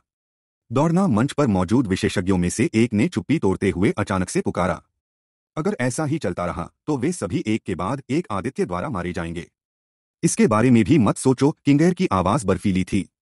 उसके हाथों की एक लहर के साथ स्थानिक ऊर्जा बाहर निकली, अंतरिक्ष के सुनहरे तारों में परिवर्तित हो गई, जो एक स्थानिक जेल में बन गई। प्रत्येक व्यक्ति को एक अलग स्थान के अंदर बंद कर दिया। स्थानिक जेल। यहाँ तक कि नौ महान संप्रदायों के प्रमुख प्रतिनिधि भी इसी तरह किंगेर के कौशल से हैरान थे। उन्होंने जो विशेषज्ञ भेजे थे, वे सभी पहले से ही युद्ध के मंच पर थे। लेकिन अब जबकि किंगर ने उन्हें अलग थलग कर दिया था, उनके पास अपनी ताकत में शामिल होने का कोई रास्ता नहीं था। चूँकि यह मामला था तो यह देखते हुए कि आदित्य की ताकत कितनी भारी थी, उनके सदस्यों के लिए केवल एक ही रास्ता बचा था, जो पहले ही मंच पर कदम रख चुके थे, मौत। और पलक झपकते ही, पहले से ही आठ और विशेषज्ञ आदित्य स्कारलेट दानव परशु के पास गिर गए। उस समय आदित्य जेल के दूसरे हिस्से में आया, और उसका सामना नीले रंग के एक विशेषज्ञ से हुआ, जिसकी आँखों में एक भयानक रोशनी थी। आदित्य ने संकोच नहीं किया। और उसने सीधे अपने लाल रंग के राक्षस परशु के साथ वार किया, जैसे कि उसकी भौहों के केंद्र से प्रकाश की एक देदीप्यमान किरण निकली। पहले आदित्य को अपने पास आते देख नीले वस्त्र पहने युवक के चेहरे पर अधिक सतर्क अभिव्यक्ति थी। जैसे ही उसके दिमाग में दुहस्वप्न का सपना आया, उसने तुरंत अपनी हथेलियों को बाहर धकेल दिया क्योंकि उसके सामने एक छतरी दिखाई दी, जिसमें भयानक ऊर्जा का उतार चढ़ाव था। जैसे ही इसे खोला गया, अत्यधिक विनाशकारी बिजली की ऊर्जा की लहर दर लहर एक साथ एक लेजर बीम में परिवर्तित हो गई। किसी भी चीज़ को छूने में सक्षम, धूल में बदलने में सक्षम, यह आदित्य की ओर फटा।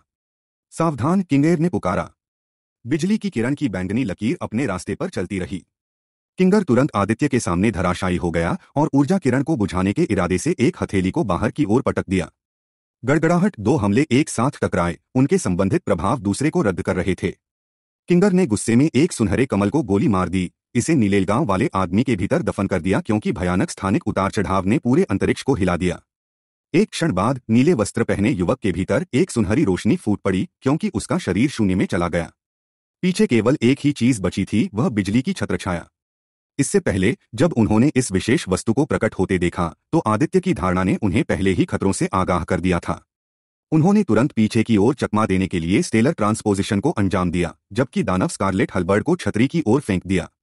किंगेर और उसके परशु ने उस हमले से बल के हिस्से को अवशोषित करने के बाद भी शॉकवेव्स उसकी त्वचा को फाड़ने के लिए पर्याप्त थीं क्योंकि ताज़ा खून टपक रहा था। पाँचवें क्रम के दिव्य हथियार, एक बिजलीयुक्त, हमले प्रकार के दिव्य हथियार, आदित्य के होठों के कोने से खून रिस रहा था, उसका चेहरा थोड़ा पीला पड़ गया था। उसने नहीं सोचा था कि इस आदमी के पास इतना तुरुप का इक्का होगा।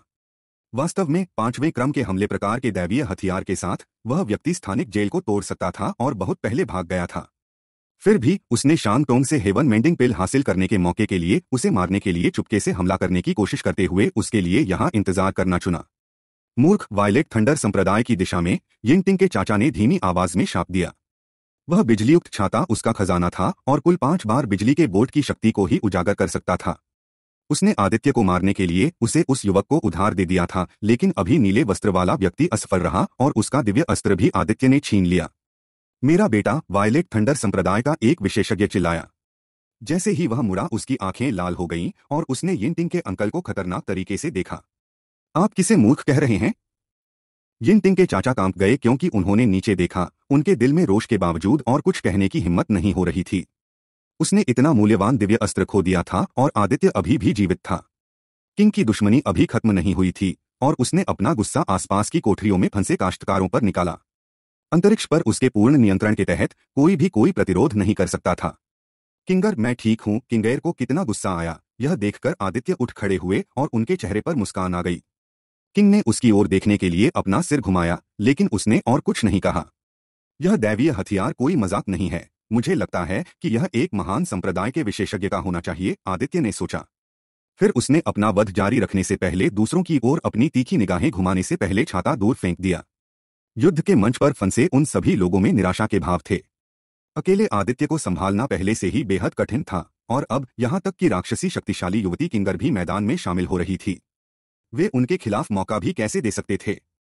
हत्या जारी रही और थोड़ी देर के बाद उन तमाशबीन विशेषज्ञों के अलावा जो आदित्य को पहले मारना चाहते थे, वे सभी पूरी तरह से खत्म हो गए। इस तरह के दृश्य ने नौ महान संप्रदायों को, जिन्होंने उन विशेषज्ञों को भेजा था, उनके दिल में दर्द महसूस हुआ। उनके सभी सदस्य मर चुके थे। न केवल वे स्वर्ग की मरम्मत की गोली प्राप्त करने में विफल रहे, बल्कि उन्होंने अपने जीवन की कीमत भी चुकाई। कई के साथ एक धमकाने की कोशिश कर रहा है, युद्ध तलवार संप्रदाय का एक बूढ़ा व्यक्ति उपहासपूर्वक हंसा। फिर उन्होंने कहा, क्या कोई है जो जारी रखना चाहता है? यदि वे मरना चाहते हैं तो हेवनली डिपर के सातवें स्तर से नीचे कोई भी मंच पर आ सकता है। किसी ने उत्तर नहीं दिया।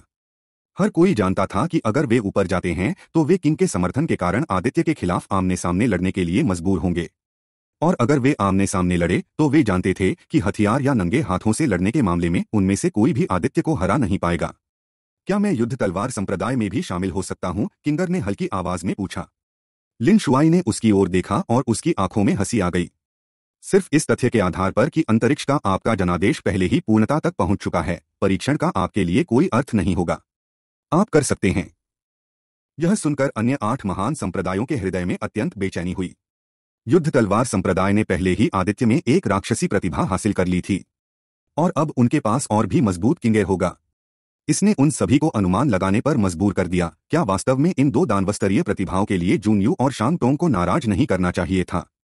ये दोनों बहुत ही अनियंत्रित हैं। युद्ध के मंच पर हम केवल खुद को बेहतर बनाने के लिए दूसरों से मार्गदर्शन मांगते हैं और आमतौर पर घातक आघात को कम करते हैं। फिर भी इन दोनों ने उन सभी को मार डाला। हमें खेती के अड्डों की प्रतिबंध सीमा को हटा देना चाहिए और उन दोनों को खत्म कर देना चाहिए। जिन टिंग के चाचा गुस्से से चिल्ला उठे, वे इस तरह के अंत को स्वीकार करने के लिए बेहद अनिच्छुक थे। यह सही है। खेती के ठिकानों पर कोई सीमा नहीं लगाई जानी चाहिए। जिन कबीले का एक विशेषज्ञ खड़ा हुआ और चिल्लाया। हालाँकि इस समय युद्ध तलवार संप्रदाय की दिशा में एक बूढ़ा व्यक्ति अचानक खड़ा हो गया। यह बूढ़ा बेहद शांत लग रहा था। और अगले ही पल, उसका सिलहूट अचानक गायब हो गया। तलवार की रोशनी की किरण में बदल गया। अंतरिक्ष में शूटिंग कर रहा था। अर्घ भीड़ में सभी को चौंकाते हुए एक दयनीय चीख निकली। उनके अत्यधिक आश्चर्य के लिए, तलवार की रोशनी की देदीप्यमान किरण अभी भी हवा में देखी जा सकती थी, लेकिन वायलेट थंडर संप्रदाय के बैठने की जगह की ओर जाने वाली दिशा में। जिन टिंग के चाचा की आँखें मौत से खुली हुई थीं, मानो वे पछतावे के साथ मरे हों। उसकी भावों के बीच से खून रिसने लगा और एक खुला छेद दिखाई दे रहा था। किसी ने वास्तव में दिन के उजाले में उसकी हत्या कर दी थी। खेती के ठिकानों पर प्रतिबंध की सीमा को हटाना सही है? मेरे युद्ध तलवार संप्रदाय के नए शिष्यों को और कौन मारना चाहता है? मैं यहीं आप सभी का इंतज़ार कर रहा हूँ, जैसे ही बूढ़ा मंच पर आया, तलवार की रोशनी की वह किरण गायब हो गई। वह एक साधारण बूढ़े व्यक्ति की तरह थे, जिसमें से किसी भी आभा का कोई संकेत नहीं था। फिर भी, उसके पहले के हमले की तेज़ी ने सभी के दिलों को दहशत में डाल दिया। बैटल स्वाड संप्रदाय का बूढ़ा आदमी हवा में उड़ गया। नीचे अन्य आठ संप्रदायों को निरंकुश रूप से देख रहा था। हालाँकि उन्होंने कोई आभा नहीं छोड़ी, लेकिन उनकी उपस्थिति उन लोगों को बनाने के लिए पर्याप्त थी, जिन पर उनकी नज़र भारी मात्रा में दबाव महसूस करती थी। यह व्यक्ति निश्चित रूप से एक शीर्ष स्तरीय अस्तित्व था। इस बार शिष्य भर्ती कार्यक्रम के लिए युद्ध तलवार संप्रदाय वास्तव में इस तरह के चरित्र को साथ लाया। वायलेट थंडर संप्रदाय के सभी विशेषज्ञ गुस्से में एक साथ खड़े हो गए। बिजली उनके शरीर के चारों ओर पागलों की तरह चटकने लगी और उनसे उत्पन्न बिजली एक दूसरे के साथ मिलकर तबाही की लहर में बदल गई जो आकाश और पृथ्वी को भी नष्ट कर सकती थी। इस तरह से मेरे वायलेट थंडर संप्रदाय को अपमानित करने की तुम्हारी हिम्मत कैसे हुई? भीतर के विशेषज्ञों में से एक गुस्से में अविश्वास में चिल्लाया। केवल एक वाक्य के लिए युद्ध तलवार संप्रदाय के इस बूढ़े व्यक्ति ने वास्तव में उनके सदस्यों में से एक को मार डाला। इतना ही नहीं, यह कई अन्य लोगों की उपस्थिति में किया गया था। क्या यह कार्रवाई उनके वायलेट थंडर संप्रदाय के चेहरे पर एक तमाचा नहीं थी? आप सभी ने मेरे युद्ध तलवार संप्रदाय के नए शिष्य को मारने के लिए कई बार कोशिश की, लेकिन फिर भी असफल रहे और इतनी बेशर्मी से खेती के ठिकानों पर प्रतिबंध की सीमा को हटाने का सुझाव दिया। क्या आपको लगता है कि मेरे युद्ध तलवार संप्रदाय के सदस्यों को धमकाना इतना आसान है? यदि आप में से कोई मेरे कार्यों से असंतुष्ट है तो आप मंच पर आ सकते हैं। हम खेती के ठिकानों पर प्रतिबंध की सीमा को नजरअंदाज करेंगे और साथ में कुछ मज़ा करेंगे। बूढ़े आदमी ने ठंडी सूंघी, उसके अभिमानी शब्द दस हज़ार तलवारों की गुनगुनाहट की तरह लग रहे थे, जो अन्य दर्शकों के कानों में गूंज रहे थे, जिससे वे बेहद असहज महसूस कर रहे थे। यह बूढ़ा व्यक्ति बहुत शक्तिशाली था, वह दिव्य घटना आरोही स्तर पर बिल्कुल एक अस्तित्व था। हालाँकि वायलेट थंडर संप्रदाय के सभी विशेषज्ञ क्रोध से भरे हुए थे, उनमें से किसी ने भी बाहर निकलने की हिम्मत नहीं की। जिन टिंग के चाचा पहले थे, जो पहले चिल्लाए और उनके शब्दों के कारण तुरंत मारे गए। कोई और अभी भी बाहर निकलने की हिम्मत कैसे कर सकता है? उत्कृष्ट वास्तव में उत्कृष्ट। वायलेट थंडर संप्रदाय के विशेषज्ञों का गुस्सा अपनी सीमा तक उबल गया। हालाँकि वे समझ गए थे कि युद्ध तलवार संप्रदाय के युद्ध कौशल के साथ अगर वे अब एक व्यापक पैमाने की लड़ाई में शामिल होते हैं तो इसके बजाय उन्हें नुकसान उठाना पड़ेगा। वास्तव में युद्ध तलवार संप्रदाय के चरित्र के साथ वे वास्तव में यहाँ एक पूर्ण पैमाने पर सहार में शामिल होने का साहस कर सकते हैं, परिणाम धिक्कार है। इसलिए उनका गला घोंटने वाले क्रोध को जबरन सहना पड़ा, वापस उनके पेट में निगल जाना पड़ा। यदि आप लड़ने की हिम्मत नहीं करते हैं तो इस बूढ़े आदमी के लिए नरक बंद करें। जैसे ही उसकी निगाहें दूसरों पर पड़ी, बूढ़ा ठंडा ठंडा सूंघने लगा। और कौन हमारे नवीनतम शिष्यों को चुनौती देना चाहता है? सातवें स्तर से नीचे के स्वर्गीय डिपर सॉवरेन कभी भी ऊपर आ सकते हैं, लेकिन अगर कोई है जो यह कहने की हिम्मत करता है कि खेती के आधारों के मामले में कोई प्रतिबंध नहीं होगा, यह बूढ़ा व्यक्ति उसे व्यक्तिगत रूप से मार डालेगा। इतना अहंकार, यह स्पष्ट था कि बूढ़े व्यक्ति ने अपनी आँखों में राजघरानों या अन्य आठ महान संप्रदायों को भी नहीं रखा था। लेकिन ध्यान से सोचने पर, इस बूढ़े व्यक्ति में वास्तव में अहंकारी होने की क्षमता थी। इस बूढ़े आदमी की ताकत वायलेट थंडर संप्रदाय के विशेषज्ञों में डर पैदा करने के लिए काफ़ी थी। भले ही उनके एक सदस्य की मृत्यु हो गई, लेकिन उन्होंने लड़ने की हिम्मत भी नहीं की। अगर वे उस बूढ़े आदमी से लड़ना नहीं चाहते थे तो कोई भी निश्चित रूप से कह सकता था कि छठे स्तर पर और उससे नीचे के हेवनली डिपर सॉवरेन आदित्य और किंगर अजय अस्तित्व थे। चाहे जितने मंच पर आ जाएँ, कितनों को मारेंगे? यह सच्ची प्रतिभा थी। दर्शकों ने उन पर अपनी निगाहें फेरते हुए मंच पर कंधे से कंधा मिलाकर खड़े दो युवा काश्तकारों को देखा। आदित्य अत्याचारी और राक्षसी रूप से सुंदर था। एक प्राचीन आदिम राक्षस राजा के वंशज के समान। किंगेर अल्पकालिक था। एक दिव्य युवती जो बर्फ़ और बर्फ़ से मिलती जुलती थी उसकी सुंदरता उसकी पीढ़ी में बेजोड़ थी। आज की लड़ाई में आदित्य ने सभी के खिलाफ एक लड़ाई लड़ी और सभी नौ संप्रदायों द्वारा डिज़ाइन किए गए परीक्षणों को पास किया। हालाँकि किंगेर थोड़ी देर के लिए ही बाहर आई, लेकिन उसकी प्रदर्शित शक्ति भीड़ के मन में गहराई से अंकित थी। वे एक साथ खड़े थे, उनकी प्रतिभा सूरज से भी तेज थी, जिससे यहाँ के अन्य सभी तथाकथित जीनियस अपनी चमक खो बैठे। युद्ध तलवार संप्रदाय में शामिल होने के बाद, इन दोनों का भविष्य और भी भयानक होगा, भीड़ में से कई लोगों ने सोचा, वे जानते थे कि आज यहाँ कोई और व्यक्ति नहीं होगा जो उन्हें रोक सके। क्या आपको नहीं लगता कि मेरे ग्रैंडशान के क्षेत्र में आपके लिए इस तरह का व्यवहार करना थोड़ा अनुचित है? एक फीकी आवाज़ अचानक बाहर निकली, जो बोला वह कोई और नहीं बल्कि शान टोंग था। जुआन किंग सिटी आखिरकार ग्रैंड शान के साथ किंग शहरों में से एक है। युद्ध तलवार संप्रदाय ने उन्हें अपनी आँखों में बिल्कुल भी जगह नहीं दी। राजघराने वाले इतने घटिया हैं क्या? जब आप अपने बड़ों से बात कर रहे हैं तो आपकी इतनी अभद्रता करने की हिम्मत कैसे हुई? युद्ध तलवार संप्रदाय के बूढ़े व्यक्ति ने अपनी निगाहें उस पर घुमाई जैसे एक भयानक तीक्ष्णता भीतर टिमटिमा रही थी। इतने लोगों को मेरे संप्रदाय के एक शिष्य के साथ गिरोह बनाने की आज्ञा देना। क्या आपको वास्तव में लगता है कि आप इससे बच सकते हैं क्योंकि आप शाही खानदान से हैं? क्या आपको विश्वास है कि यदि आप आदित्य को छूने के बारे में एक और शब्द बोलने का साहस करते हैं तो मैं आपको यही नहीं मारूँगा। जैसे ही उसकी आवाज़ फीकी पड़ी, एक शक्तिशाली बल क्षेत्र ने शांगटोंग को घेर लिया। शांगटोंग के गार्ड सभी फीके पड़ गए जब उन्होंने महसूस किया कि तलवार क्यूई का बल क्षेत्र कितना तीव्र था। अगर वह बूढ़ा वास्तव में शांगटोंग को मारना चाहता था तो वह एक पल में ऐसा कर सकता था। अखाड़े पर एक अतुलनीय भारी सन्नाटा छा गया। ऐसा लगता है कि युद्ध तलवार संप्रदाय यहाँ अच्छी तरह से तैयार होकर आया था, यह सोचने के लिए कि उनके बीच वास्तव में इतना शक्तिशाली विशेषज्ञ है। मैंने सुना है कि अन्य आठ महान संप्रदाय जुआन किंग सिटी में आए क्योंकि यह कुछ ऐसा था जिसे युद्ध तलवार संप्रदाय ने शुरू किया था।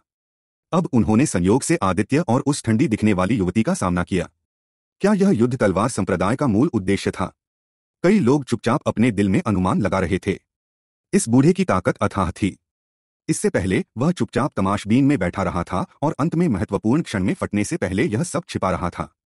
कोई भी युद्ध के मंच पर आने की हिम्मत नहीं करता। क्या अन्य आठ संप्रदायों के विशेषज्ञ नकली हैं? क्या आप सभी केवल अपनी कमज़ोरी को छिपाने के लिए संख्या में श्रेष्ठता का उपयोग करके लोगों पर गिरोह बनाना जानते हैं? हवा में उस बूढ़े आदमी का फिर से एक और प्रकोप हुआ। इसके बाद उन्होंने धीरे धीरे जारी रखा, नौ महान संप्रदायों के नाम का गौरव, साथ ही साथ शाही वंश आज आप सभी लोगों द्वारा पूरी तरह से कलंकित किया गया है। कैसे निराशाजनक है?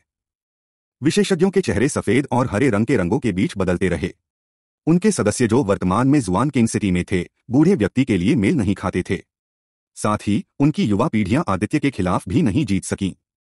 वे आज पूरी तरह हार चुके थे। यदि तुम यह दिखाते हो कि तुम कमज़ोर हो तो तुम्हारा भाग्य दूसरों के द्वारा कुचले जाने के लिए नियत होगा। यहाँ तक कि अगर किसी को अपमानित किया गया था तो बिना ताकत वाले लोग इसे केवल जबरन सहन कर सकते थे। चूँकि कोई और नहीं है लिन शुआई चलो वापस आते हैं, उस बूढ़े ने आज्ञा दी। जिसके बाद युद्ध तलवार संप्रदाय के सभी लोग उठ खड़े हुए। तलवार क्यूई के फटने से विस्फोट हुआ क्योंकि वे सभी तलवार की रोशनी के बीम पर खड़े थे, जो हवा में ऊपर उठ रहे थे। बूढ़े आदमी ने अपनी हथेली को आगे की ओर दबाया जैसे कि तलवार की किरण आदित्य और किंगय के बगल में उतरी हो। मेरी तलवार पर सवारी करें। जुआन किंग सिटी युद्ध तलवार संप्रदाय से लगभग दो लाख मील दूर है, बहुत दूर। आदित्य की गति से उसे वहाँ पहुँचने से पहले कई दिनों तक उड़ना पड़ सकता था। लेकिन इस बूढ़े आदमी की ताकत से यात्रा का समय कई गुना कम हो जाएगा। आकाशीय घटना आरोही की गति बहुत तेज थी। एक ही दिन में दसियों हज़ार मील की यात्रा आसानी से करने में सक्षम थी। वरिष्ठ, कृपया मुझे एक क्षण दें। आदित्य ने तुरंत जाने का विकल्प नहीं चुना। इसके बजाय, वह आगे बढ़ा और जुआन किंग सिटी की प्रमुख शक्तियों को देखा।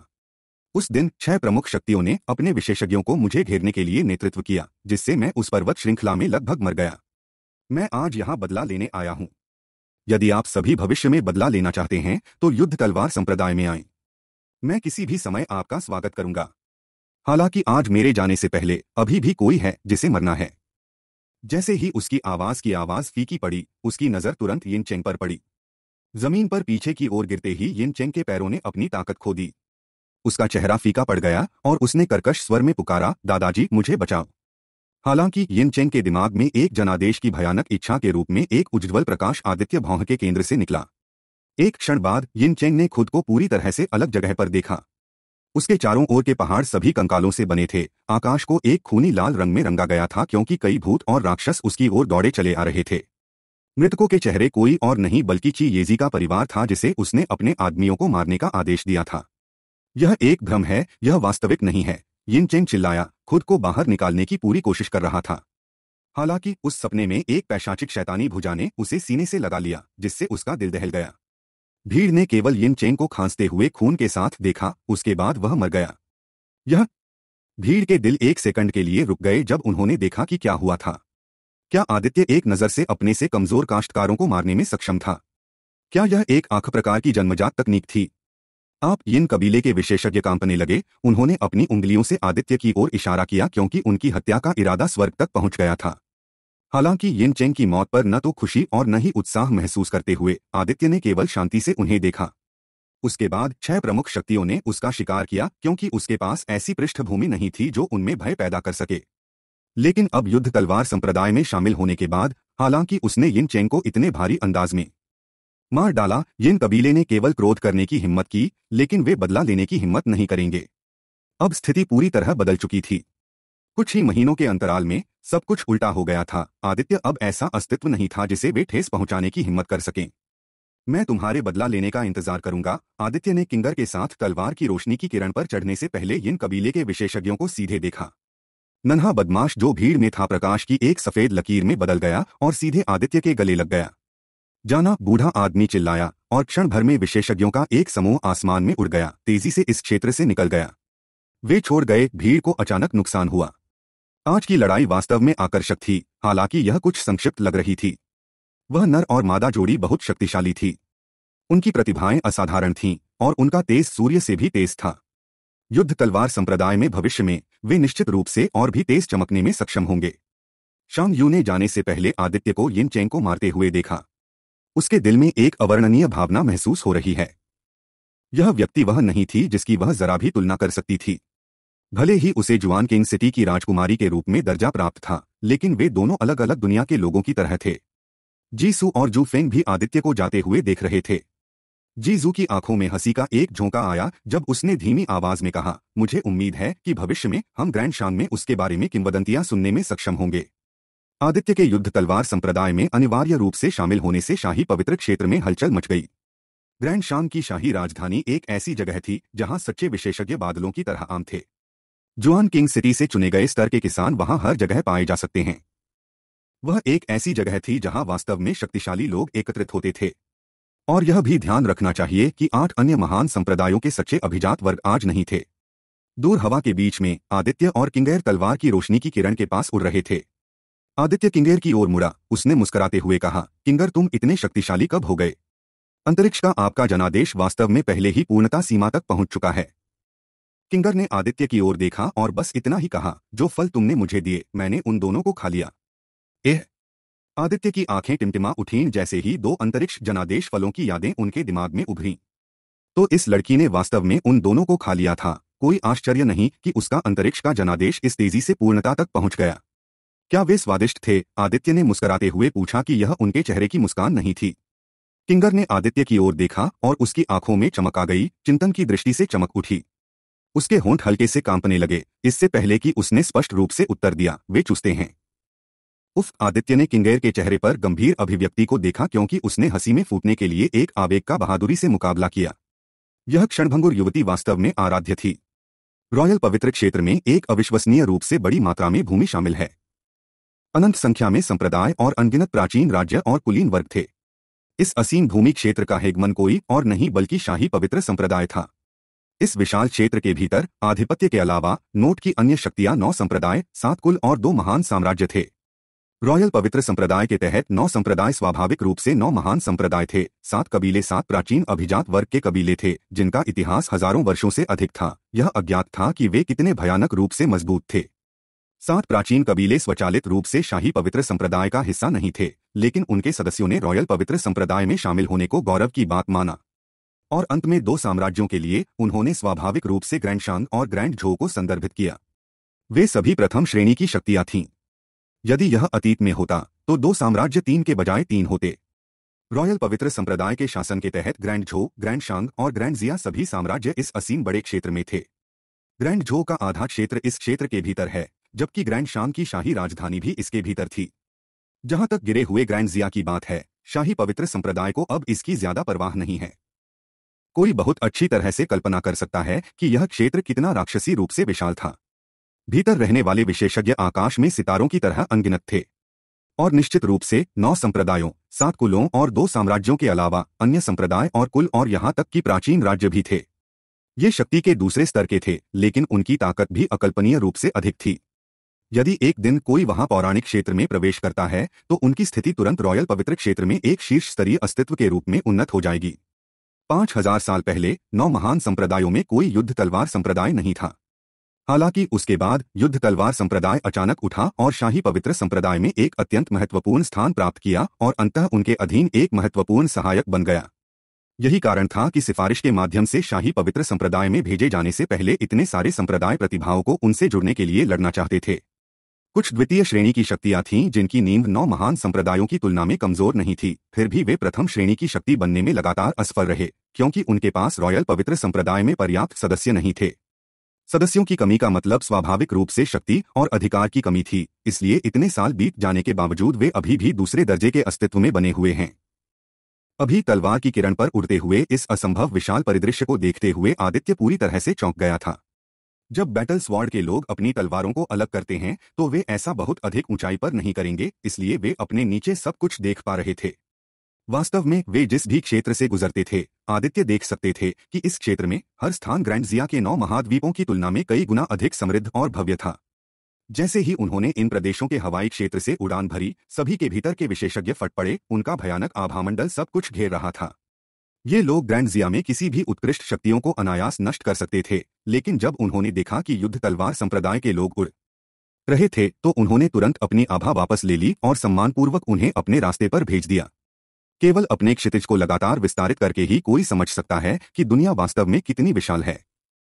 आदित्य समझ गए कि युद्ध तलवार संप्रदाय ने जानबूझकर इस मार्ग को चुना है ताकि वह एक आँख खोलने वाला बन सके। लिन शुआई और बाकी लोग जानते थे कि वह उजाड़ ग्रैंड जिया से आया था, इसलिए उन्होंने जानबूझकर ऐसा किया ताकि उसके क्षितिज को व्यापक बनाया जा सके। रास्ते में लिन शुआई और बाकी लोगों के साथ बातचीत से, वह समझ गया कि रॉयल सेक्रेड रीजन के संख्या विशेषज्ञों के दृष्टिकोण से ग्रैंड जिया उनके लिए सिर्फ़ एक उजाड़ जगह थी। इस तरह की खबरों ने आदित्य को अनायास ही सदमे में डाल दिया। आदित्य आखिरकार समझ गए कि जून यू के साथ इतना महत्वपूर्ण व्यवहार क्यों किया गया जब वह ग्रैंड जिया के पास वापस लौटा। जून यू शाही पवित्र संप्रदाय का शिष्य था, वह उजाड़ ग्रैंड जिया में रहने वाले जंगली लोगों को कैसे देख सकता था? विशाल बहुमत ने रॉयल पवित्र संप्रदाय, रॉयल पवित्र क्षेत्र जैसे शब्दों के बारे में कभी सुना भी नहीं था या यह भी नहीं जानता था कि ग्रैंड जिया के अलावा दो अन्य साम्राज्य थे। जितना अधिक उसने सुना, उतना ही अधिक उत्साहित आदित्य था। उसकी आँखों में तेज चमक थी, जैसे कि वह इस भव्य मंच पर खुद को साबित करने के लिए इंतज़ार नहीं कर सकता था जो कि शाही पवित्र क्षेत्र था। किंगेर हमेशा की तरह शांत था, बर्फीली ठंड और बोलना पसंद नहीं करता था। यहाँ तक कि जब युद्ध तलवार संप्रदाय के विशेषज्ञों ने उससे बात करने की कोशिश की तो उसने उन्हें भी नजरअंदाज कर दिया। उसकी हरकतें युद्ध तलवार संप्रदाय के विशेषज्ञों के चेहरे पर एक कड़वी मुस्कान लाने के अलावा और कुछ नहीं कर सकती थीं।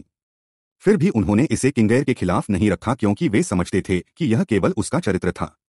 अंत में वे अपने गंतव्य पर पहुँचे। वह क्षेत्र जहाँ रॉयल पवित्र क्षेत्र के दक्षिणी भाग में युद्ध तलवार संप्रदाय स्थित था। आदित्य ने मूल रूप से जो कल्पना की थी, उससे युद्ध तलवार संप्रदाय को उजाड़ क्षेत्र में स्थित होना चाहिए, शायद कुछ मैदानों के बीच में या कुछ ऊँचे पहाड़ों के ऊपर। लेकिन जब वह पहुँचे तो उनके चेहरे पर एक कुटिल मुस्कान नहीं आई। आसपास के इलाके लोगों से गुलजार थे। युद्ध तलवार संप्रदाय के बाहर, प्रवेश द्वार को पार करने की दहलीज पर, ज़मीन में गड़ी हुई एक प्राचीन तलवार थी, जो उनके क्षेत्र का सीमांकन कर रही थी। आगे एक विशाल तलवार आसमान की ओर उठी। आकाशीय महलों की भव्यता के साथ कई इमारतों के रूप में जुड़ी हुई कई प्राचीन चोटियाँ इस पर देखी जा सकती हैं। युद्ध तलवार संप्रदाय के पास कुछ सौ मील का क्षेत्र था, लेकिन यह जंगली उजाड़ के बजाय एक समृद्ध क्षेत्र के बीच में स्थित था। सीमांकन के बाहर मनुष्यों की धाराएँ अनवरत रूप से बहती थीं। उन सभी की आँखों में श्रद्धा थी जब उन्होंने युद्ध तलवार संप्रदाय को देखा। आप निराश हैं, लिन शुआई जो आदित्य के पास खड़ी थी, हँसी। मैं क्यों होऊँगा? मुझे थोड़ा आश्चर्य हुआ कि युद्ध तलवार संप्रदाय इतने जीवंत क्षेत्र में स्थित होगा। आदित्य हंस पड़ा। मेरी पीढ़ी के तलवार चलाने वाले सभी दुनिया भर में घूम रहे हैं, वे जो करना चाहते हैं, कर रहे हैं, नश्वर दुनिया में खुद को तरोताजा कर रहे हैं। हमारा युद्ध तलवार संप्रदाय अफवाहों की तरह उत्कृष्ट नहीं है, हम सभी बस वही करते हैं, जो हम चाहते हैं। दुनिया में घूमना, गलतियों को सुधारना और शिकायतों को सुलझाना, आराम से और बिना किसी को जवाब देने के आत्मविश्वास और अपने दिल को बचाने के लिए। लिन शुआई ने हँसते हुए कहा, केवल अपने दिल का अनुसरण करके ही कोई तलवारों के पथ पर उसकी चरम सीमाओं तक आगे बढ़ पाएगा। युद्ध तलवार संप्रदाय वास्तव में अपने सदस्यों के लिए बहुत अधिक प्रतिबंध नहीं रखता है, उन्हें बड़ी मात्रा में स्वतंत्रता प्रदान करता है। आपको यह याद रखना होगा, चूँकि आप हमारे युद्ध तलवार संप्रदाय में शामिल हो गए हैं, इसलिए आपको अपने द्वारा बनाए गए किसी भी नियम का पालन करने की आवश्यकता नहीं है। बस आप जो करना चाहते हैं, उसमें दृढ़ रहें। यदि एक दिन आप पाते हैं कि युद्ध तलवार संप्रदाय अब आपके लिए उपयुक्त नहीं है। बस अपनी तलवार उठाओ और उड़ जाओ, कोई भी तुम्हारे लिए मुश्किलें पैदा नहीं करेगा। क्या एक अच्छा मुक्त उत्साही युद्ध तलवार संप्रदाय है? आदित्य का दिल्लिन शुआई की बातें सुनकर थोड़ा कांपने से खुद को रोक नहीं सका। ऐसा लग रहा था कि जुआन किंग सिटी में उसने जो खबर सुनी थी वह सच थी। युद्ध तलवार संप्रदाय की संरचना किसी भी अन्य संप्रदाय की तरह नहीं थी। युद्ध तलवार संप्रदाय को अपने सदस्यों से केवल एक ही चीज़ की आवश्यकता थी कि वे अपने दिल के प्रति सच्चे रहें। जब वे दोनों बातचीत कर रहे थे तो जिन तलवारों पर वे सवार थे, वे पहले ही युद्ध तलवार संप्रदाय में आगे बढ़ चुकी थीं, उस क्षेत्र में प्रवेश कर रही थीं जहाँ आकाशीय महलों जैसी इमारतें बिखरी हुई थीं। पहाड़ के झरनों और झरनों ने वातावरण को शांति प्रदान की, उनके भीतर हँसते हुए लोगों के साथ कई मंडप थे, और लोगों को अपनी तलवार चलाने और अभ्यास करने के लिए एक विशाल प्रशिक्षण मंच भी था। इस पूरे स्थान ने सद्भाव की भावना को उजागर किया। लोगों के इस समूह को लौटते देख, युद्ध तलवार संप्रदाय के कई साधकों ने अपना सिर उठा लिया और उनकी ओर देखा। यहाँ के अधिकांश साधक युवा पीढ़ी के थे, और यहाँ के लोगों के साधना आधार कम से कम स्वर्गीय सप्तऋषि क्षेत्र में थे। इसलिए, भले ही कोई तीस या चालीस का हो, फिर भी वे अपनी उम्र से कम दिखेंगे, इन लोगों की तो बात ही छोड़ दीजिए। सातवां सीनियर वापस आ गया है, और दो नए लोगों को भी साथ लाया है। क्या ये नए जूनियर हैं जो भर्ती चयन में पास हुए हैं? झरनों में से एक के नीचे युद्ध तलवार संप्रदाय के सदस्य लिन शुआई और अन्य लोगों की दिशा में घूर रहे थे। सफ़ेद कपड़े पहने एक युवक के चेहरे पर अत्यधिक उत्सुकता के भाव थे। वह युवती इतनी सुंदर है, अगर वह हमारे युद्ध तलवार संप्रदाय में शामिल हो जाती है तो हमारे संप्रदाय में नंबर एक सुंदरता का स्थान निश्चित रूप से उसका होगा। किंगेर को घूरते ही युवक की आँखों में रोशनी आ गई। हम उसके बगल में एक खूबसूरत लड़की ने ठंडी सांस ली। यह लड़की लंबी थी और उसके सुंदर सुडौल थे। उसकी त्वचा गोरी और गोरी थी जबकि उसकी दोनों आँखें चाँद की तरह चमक रही थीं। वह अत्यंत सुंदर भी थी और उसकी मुखाकृति से वीरता का भी आभास होता था। वह गुस्से से सफ़ेद कपड़े पहने युवक को घूरती रही और डांटते हुए बोली, लचर साथी, आह, भूख और वासना स्वाभाविक हैं। उस युवक ने कंधा उचकाया और हंसा, लेबल पर बिल्कुल भी ध्यान नहीं दिया। अफसोस की बात है कि छोटी बहन मुझसे बहुत ज़्यादा ठंडी है। यदि मेरी छोटी बहन मुझसे विवाह करने को तैयार है तो मैं अब से किसी दूसरी स्त्री की ओर दृष्टि तक नहीं उठाऊँगा। स्क्रैम महिला ने उसे जमकर घूरा। एक और दुबलेपतले किसान ने अपनी पीठ पर तलवार बांधी हुई बोली, क्या सातवें वरिष्ठ और बड़ों का मिशन? ठीक, इन दोनों के लिए था। हमारे युद्ध तलवार संप्रदाय ने पहले कभी शिष्य चयन की पहल नहीं की, यह एक मिसाल है। मुझे लगता है कि इसमें भी कुछ गड़बड़ है। ओह, सीनियर आ रहा है। उस युवती ने उत्तर दिया लिन शुआई और अन्य लोग उस क्षेत्र में पहुँचे और नेतृत्व करने वाले बूढ़े व्यक्ति ने आदेश दिया लिन शुआई हमारे नए सदस्यों के लिए व्यवस्था करो ज़रूर लिन शुआई ने सिर हिलाया, जिसके बाद वह बूढ़ा लोगों के एक बड़े समूह को साथ ले आया और क्षेत्र से चला गया। सातवें वरिष्ठ, तुम वापस आ गए लिन शुआई को देखते ही लड़की के चेहरे पर मुस्कान आ गई। उसके साथ खड़े युवक के साथ आमतौर पर व्यवहार करने की तुलना में उसका रवैया पूरी तरह से अलग था। छोटी बहन का दिल फूलों की तरह खेल उठा जब उसने सातवें सीनियर को लौटते देखा। आह, मेरा टूटा हुआ दिल बहुत दुखता है। वह युवक जिसे कोढ़ी कहकर डांटा गया था आहें भरने लगा।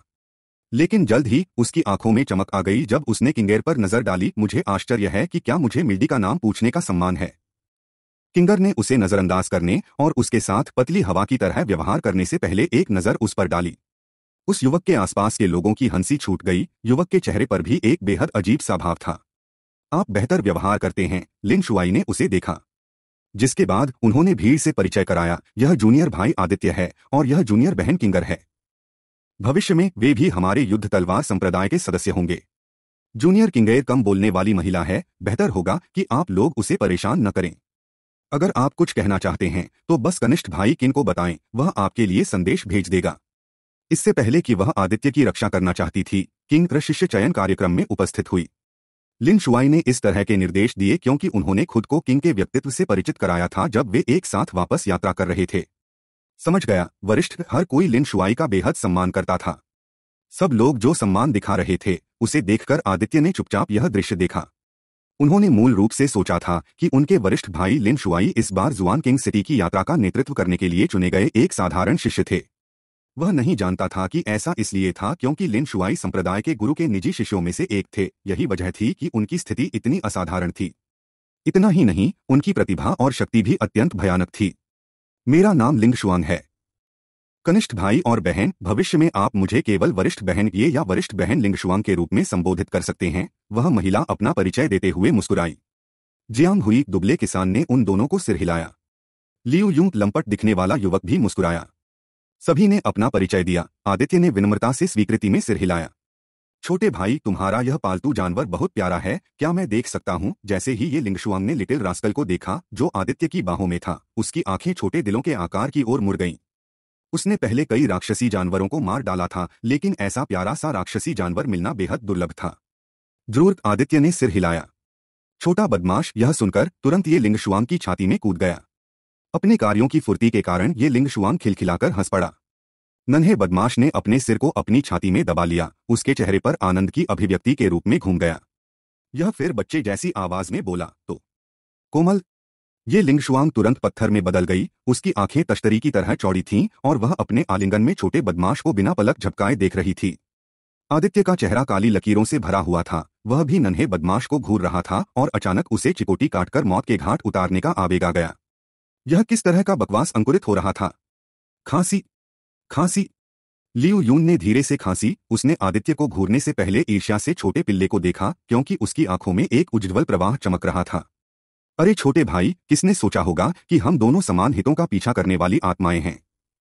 आदित्य ने लियू यून के शब्दों को सुनने के बाद, वह खुद को दफनाने के लिए एक छेद खोजने के अलावा और कुछ नहीं चाहता था। उसने चुपके से ये लिंगशुआन पर एक नज़र डाली, केवल उसे तिरस्कार की नज़र से देखा। इसने आदित्य को आह भरनी चाहिए उसने अभी अभी युद्ध तलवार संप्रदाय में प्रवेश किया था और लिटिल रास्कल द्वारा उसकी प्रतिष्ठा को पहले ही नष्ट कर दिया गया था। छोटे साले, बेहतर होगा कि तुम यहाँ से निकल जाओ। आदित्य ने उस छोटे पिल्ले को सख्ती से देखा, केवल यह देखने के लिए कि वह आलसी ढंग से जमहाई ले रहा था क्योंकि वह ये लिंशुआंग की विस्तृत छाती में खुद को और अधिक आराम से बैठा रहा था। उसकी आँखों में एक सम्मोहक झिलमिलाहट थी। जूनियर ब्रदर वास्तव में इतने अच्छे शिक्षक हैं, ये लिंशुआंग हंसा, और आदित्य उसके दिल में चीखा। अभी तो वह नदी में कूद कर भी अपनी प्रतिष्ठा को साफ़ नहीं कर पाएगा। छोटे भाई और छोटी बहन, मैं आपको हमारे युद्ध तलवार संप्रदाय के आसपास दिखाऊँगा। इस समय लिन शुआई ने हस्तक्षेप किया, जिससे आदित्य को स्थिति से बचने में मदद मिली।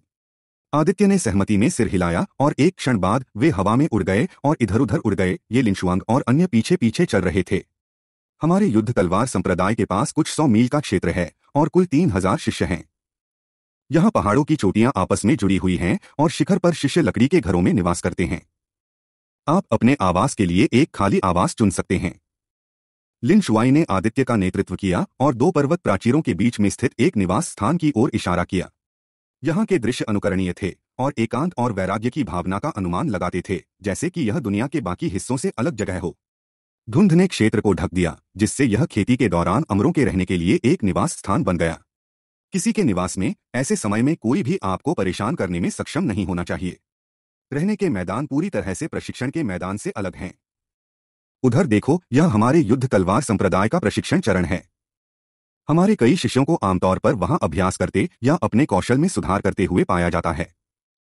यदि हमारे शिष्यों के बीच संघर्ष होता है तो सामान्य रूप से बुज़ुर्ग मध्यस्थता करने के लिए कदम उठाते हैं, लेकिन यदि मध्यस्थता विफल हो जाती है तो दोनों पक्ष द्वंद्वयुद्ध के अधिकारों के लिए आवेदन कर सकते हैं।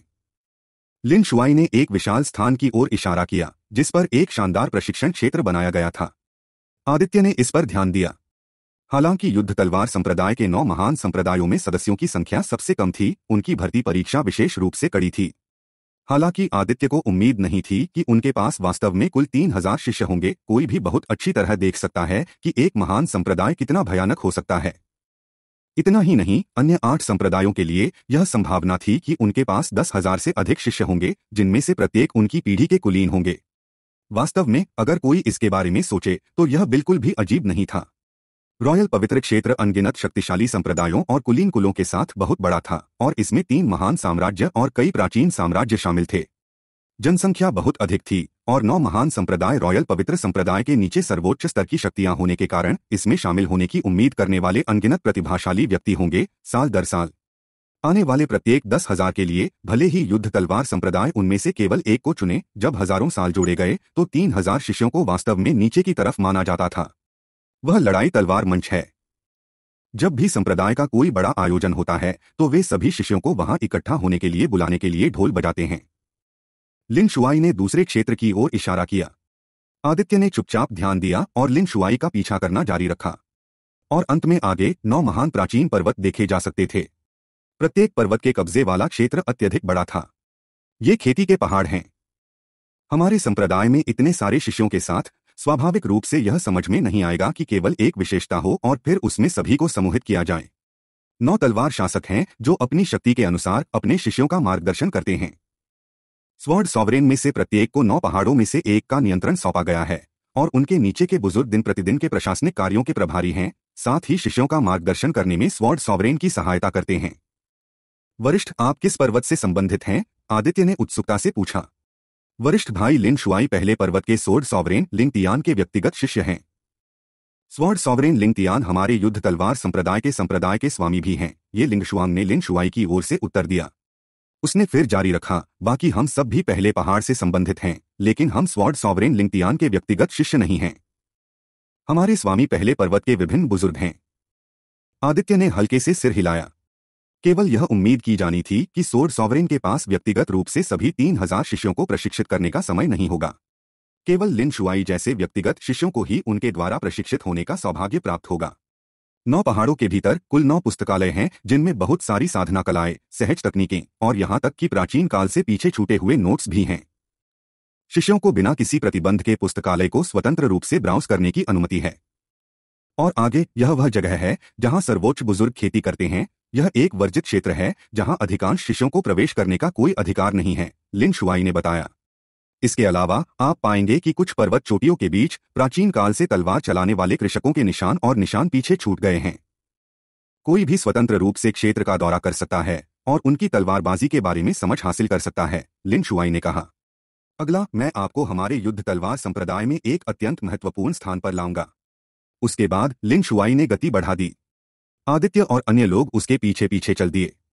जब उसने ये लिंग शुआंग पर नज़र डाली तो उसने पाया कि वह साथ ही लियू युन और बाकी सभी अपने चेहरे पर बेहद गंभीर रूप धारण किए हुए थे। कुछ देर बाद वे एक पहाड़ की तलहटी में पहुँचे। वास्तव में वहाँ पहले से ही कई शिष्य एकत्रित थे, और जब उन्होंने लिन शुआई को देखा तो उन सभी ने तुरंत जो कुछ कर रहे थे, उसे रोक दिया और उनका अभिवादन किया। लिन शुआई संप्रदाय के नेता के एक निजी शिष्य थे, और उनकी साधना का आधार पहले ही दिव्य घटना के दायरे में आ चुका था। वह संप्रदाय के कुछ बड़े स्तर के अधिकारियों की तुलना में कमज़ोर नहीं था, और इसलिए उसका बहुत सम्मान किया जाता था।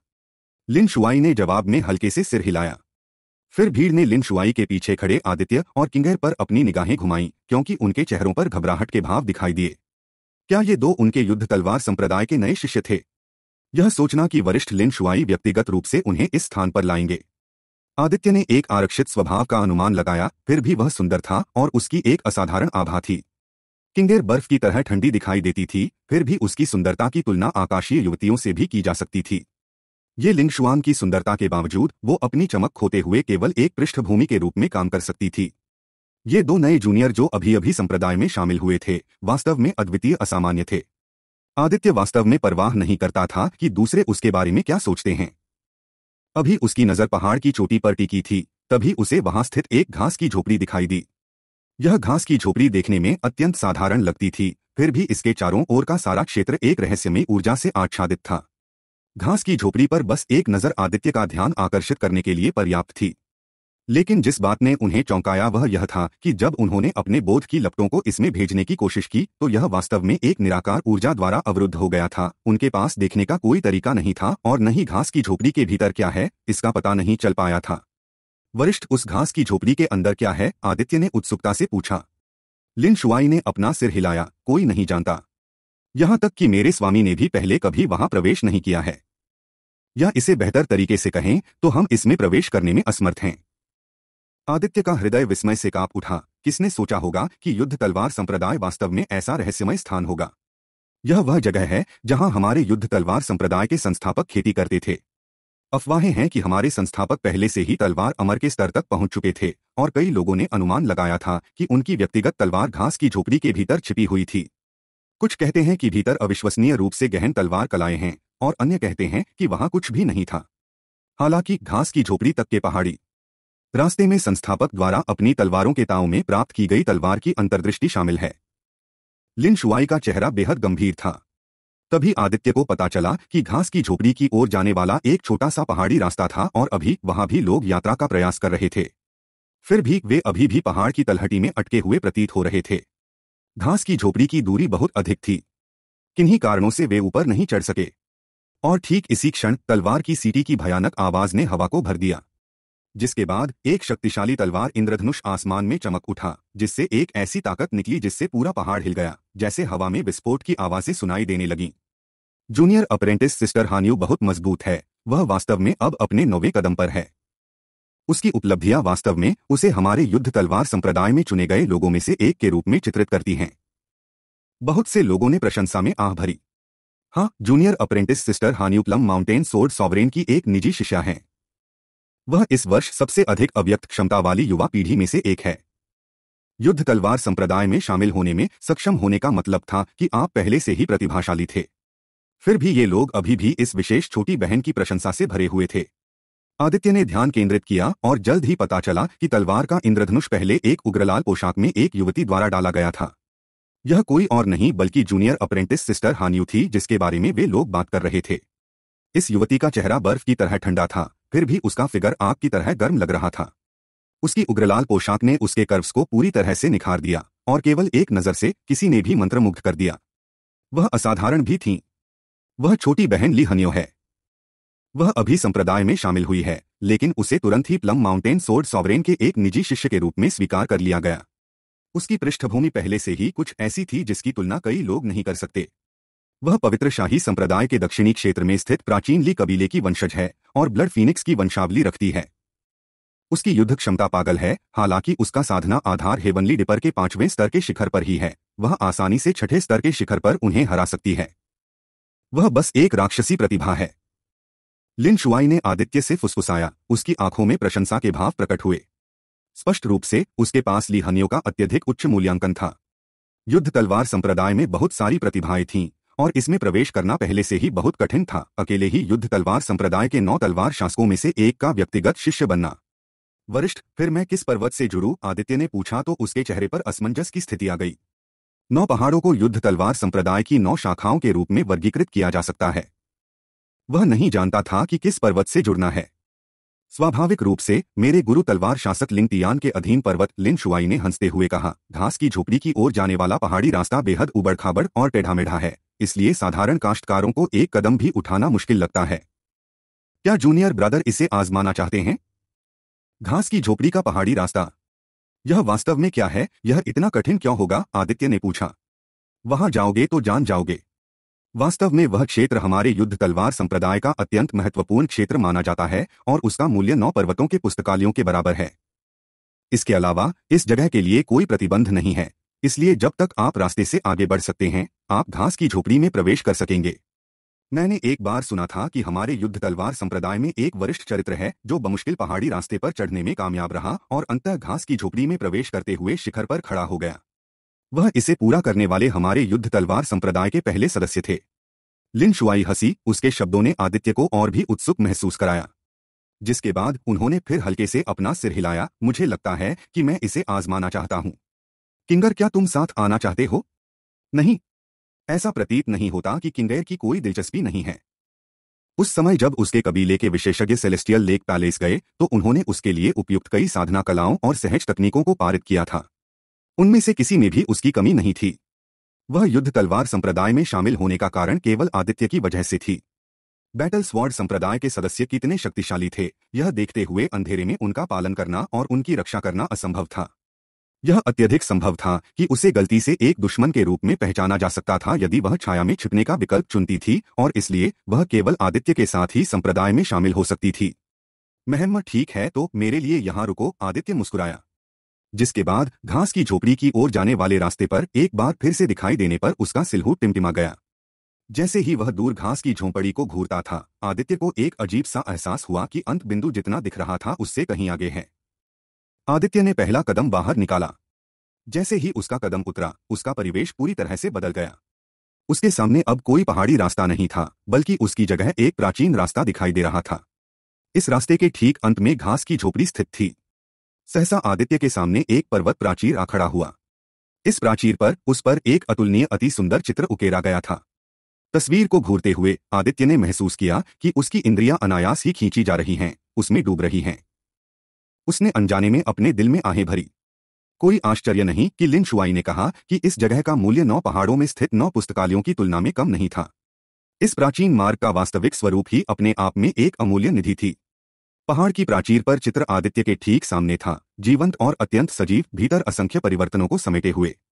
तस्वीर में एक बड़ी चट्टान की छवि आसमान में उड़ती हुई, बादलों के बीच बिजली की तरह तेज भयानक गति से उड़ती हुई दिखाई दे रही है। इस समय नीले आकाश से तलवार की एक किरण नीचे गिरी, जिसने स्वर्ग और पृथ्वी दोनों को चौंका दिया। बड़ी चट्टान इतनी तेज़ी से उड़ी, फिर भी वह उस तलवार की किरण की गति को पार नहीं कर सकी। तलवार का हमला अचूक सटीकता के साथ हुआ और तुरंत महान रॉक की मृत्यु हो गई। आदित्य के दिल में गहरा सदमा लगा। उन्हें उम्मीद नहीं थी कि केवल पहले कदम पर, पहाड़ की प्राचीर पर चित्रित तलवार का प्रहार इतना गहरा होगा कि इससे उन्हें ऐसा महसूस होगा जैसे वह एक चींटी की तरह है। उसकी गति उसकी तुलना में कुछ भी नहीं थी। कुछ भी नहीं, इतना धीमा कि वह घोंघे की तरह महसूस कर रहा था। आदित्य ने खुद से सवाल किया, क्या वह कभी इतना शानदार प्रहार कर पाएगा? गलत। घास की झोपड़ी के लिए यह प्राचीन पहाड़ी मार्ग एक परीक्षण होना चाहिए। पहले चरण की पहली तस्वीर संभावित परीक्षण लेने वालों को दिखाई जाती है, जिससे उन्हें हमले के पीछे के सार को समझने की अनुमति मिलती है। इससे पहले ली हानियों के उस स्ट्राइक से बाहर होने के बाद वह सफलतापूर्वक समझ गई और इस तरह रास्ते पर आगे बढ़ने में सक्षम हो गई। जब वह नौ कदम चल सकती है तो यह कैसे हो सकता है कि मैं एक कदम भी नहीं चल पाऊँगा? आदित्य ने विचार किया, हालाँकि लिन शुआई ने उसे निर्देश नहीं बताए थे। वह पहले से ही समझ गया था कि यह पहाड़ी रास्ता एक परीक्षण था जहाँ किसी को आगे बढ़ने में सक्षम होने के लिए प्रत्येक तलवार के वार के पीछे के सार को समझना होगा। साथ ही, इस जगह को संस्थापक ने पीछे छोड़ दिया था।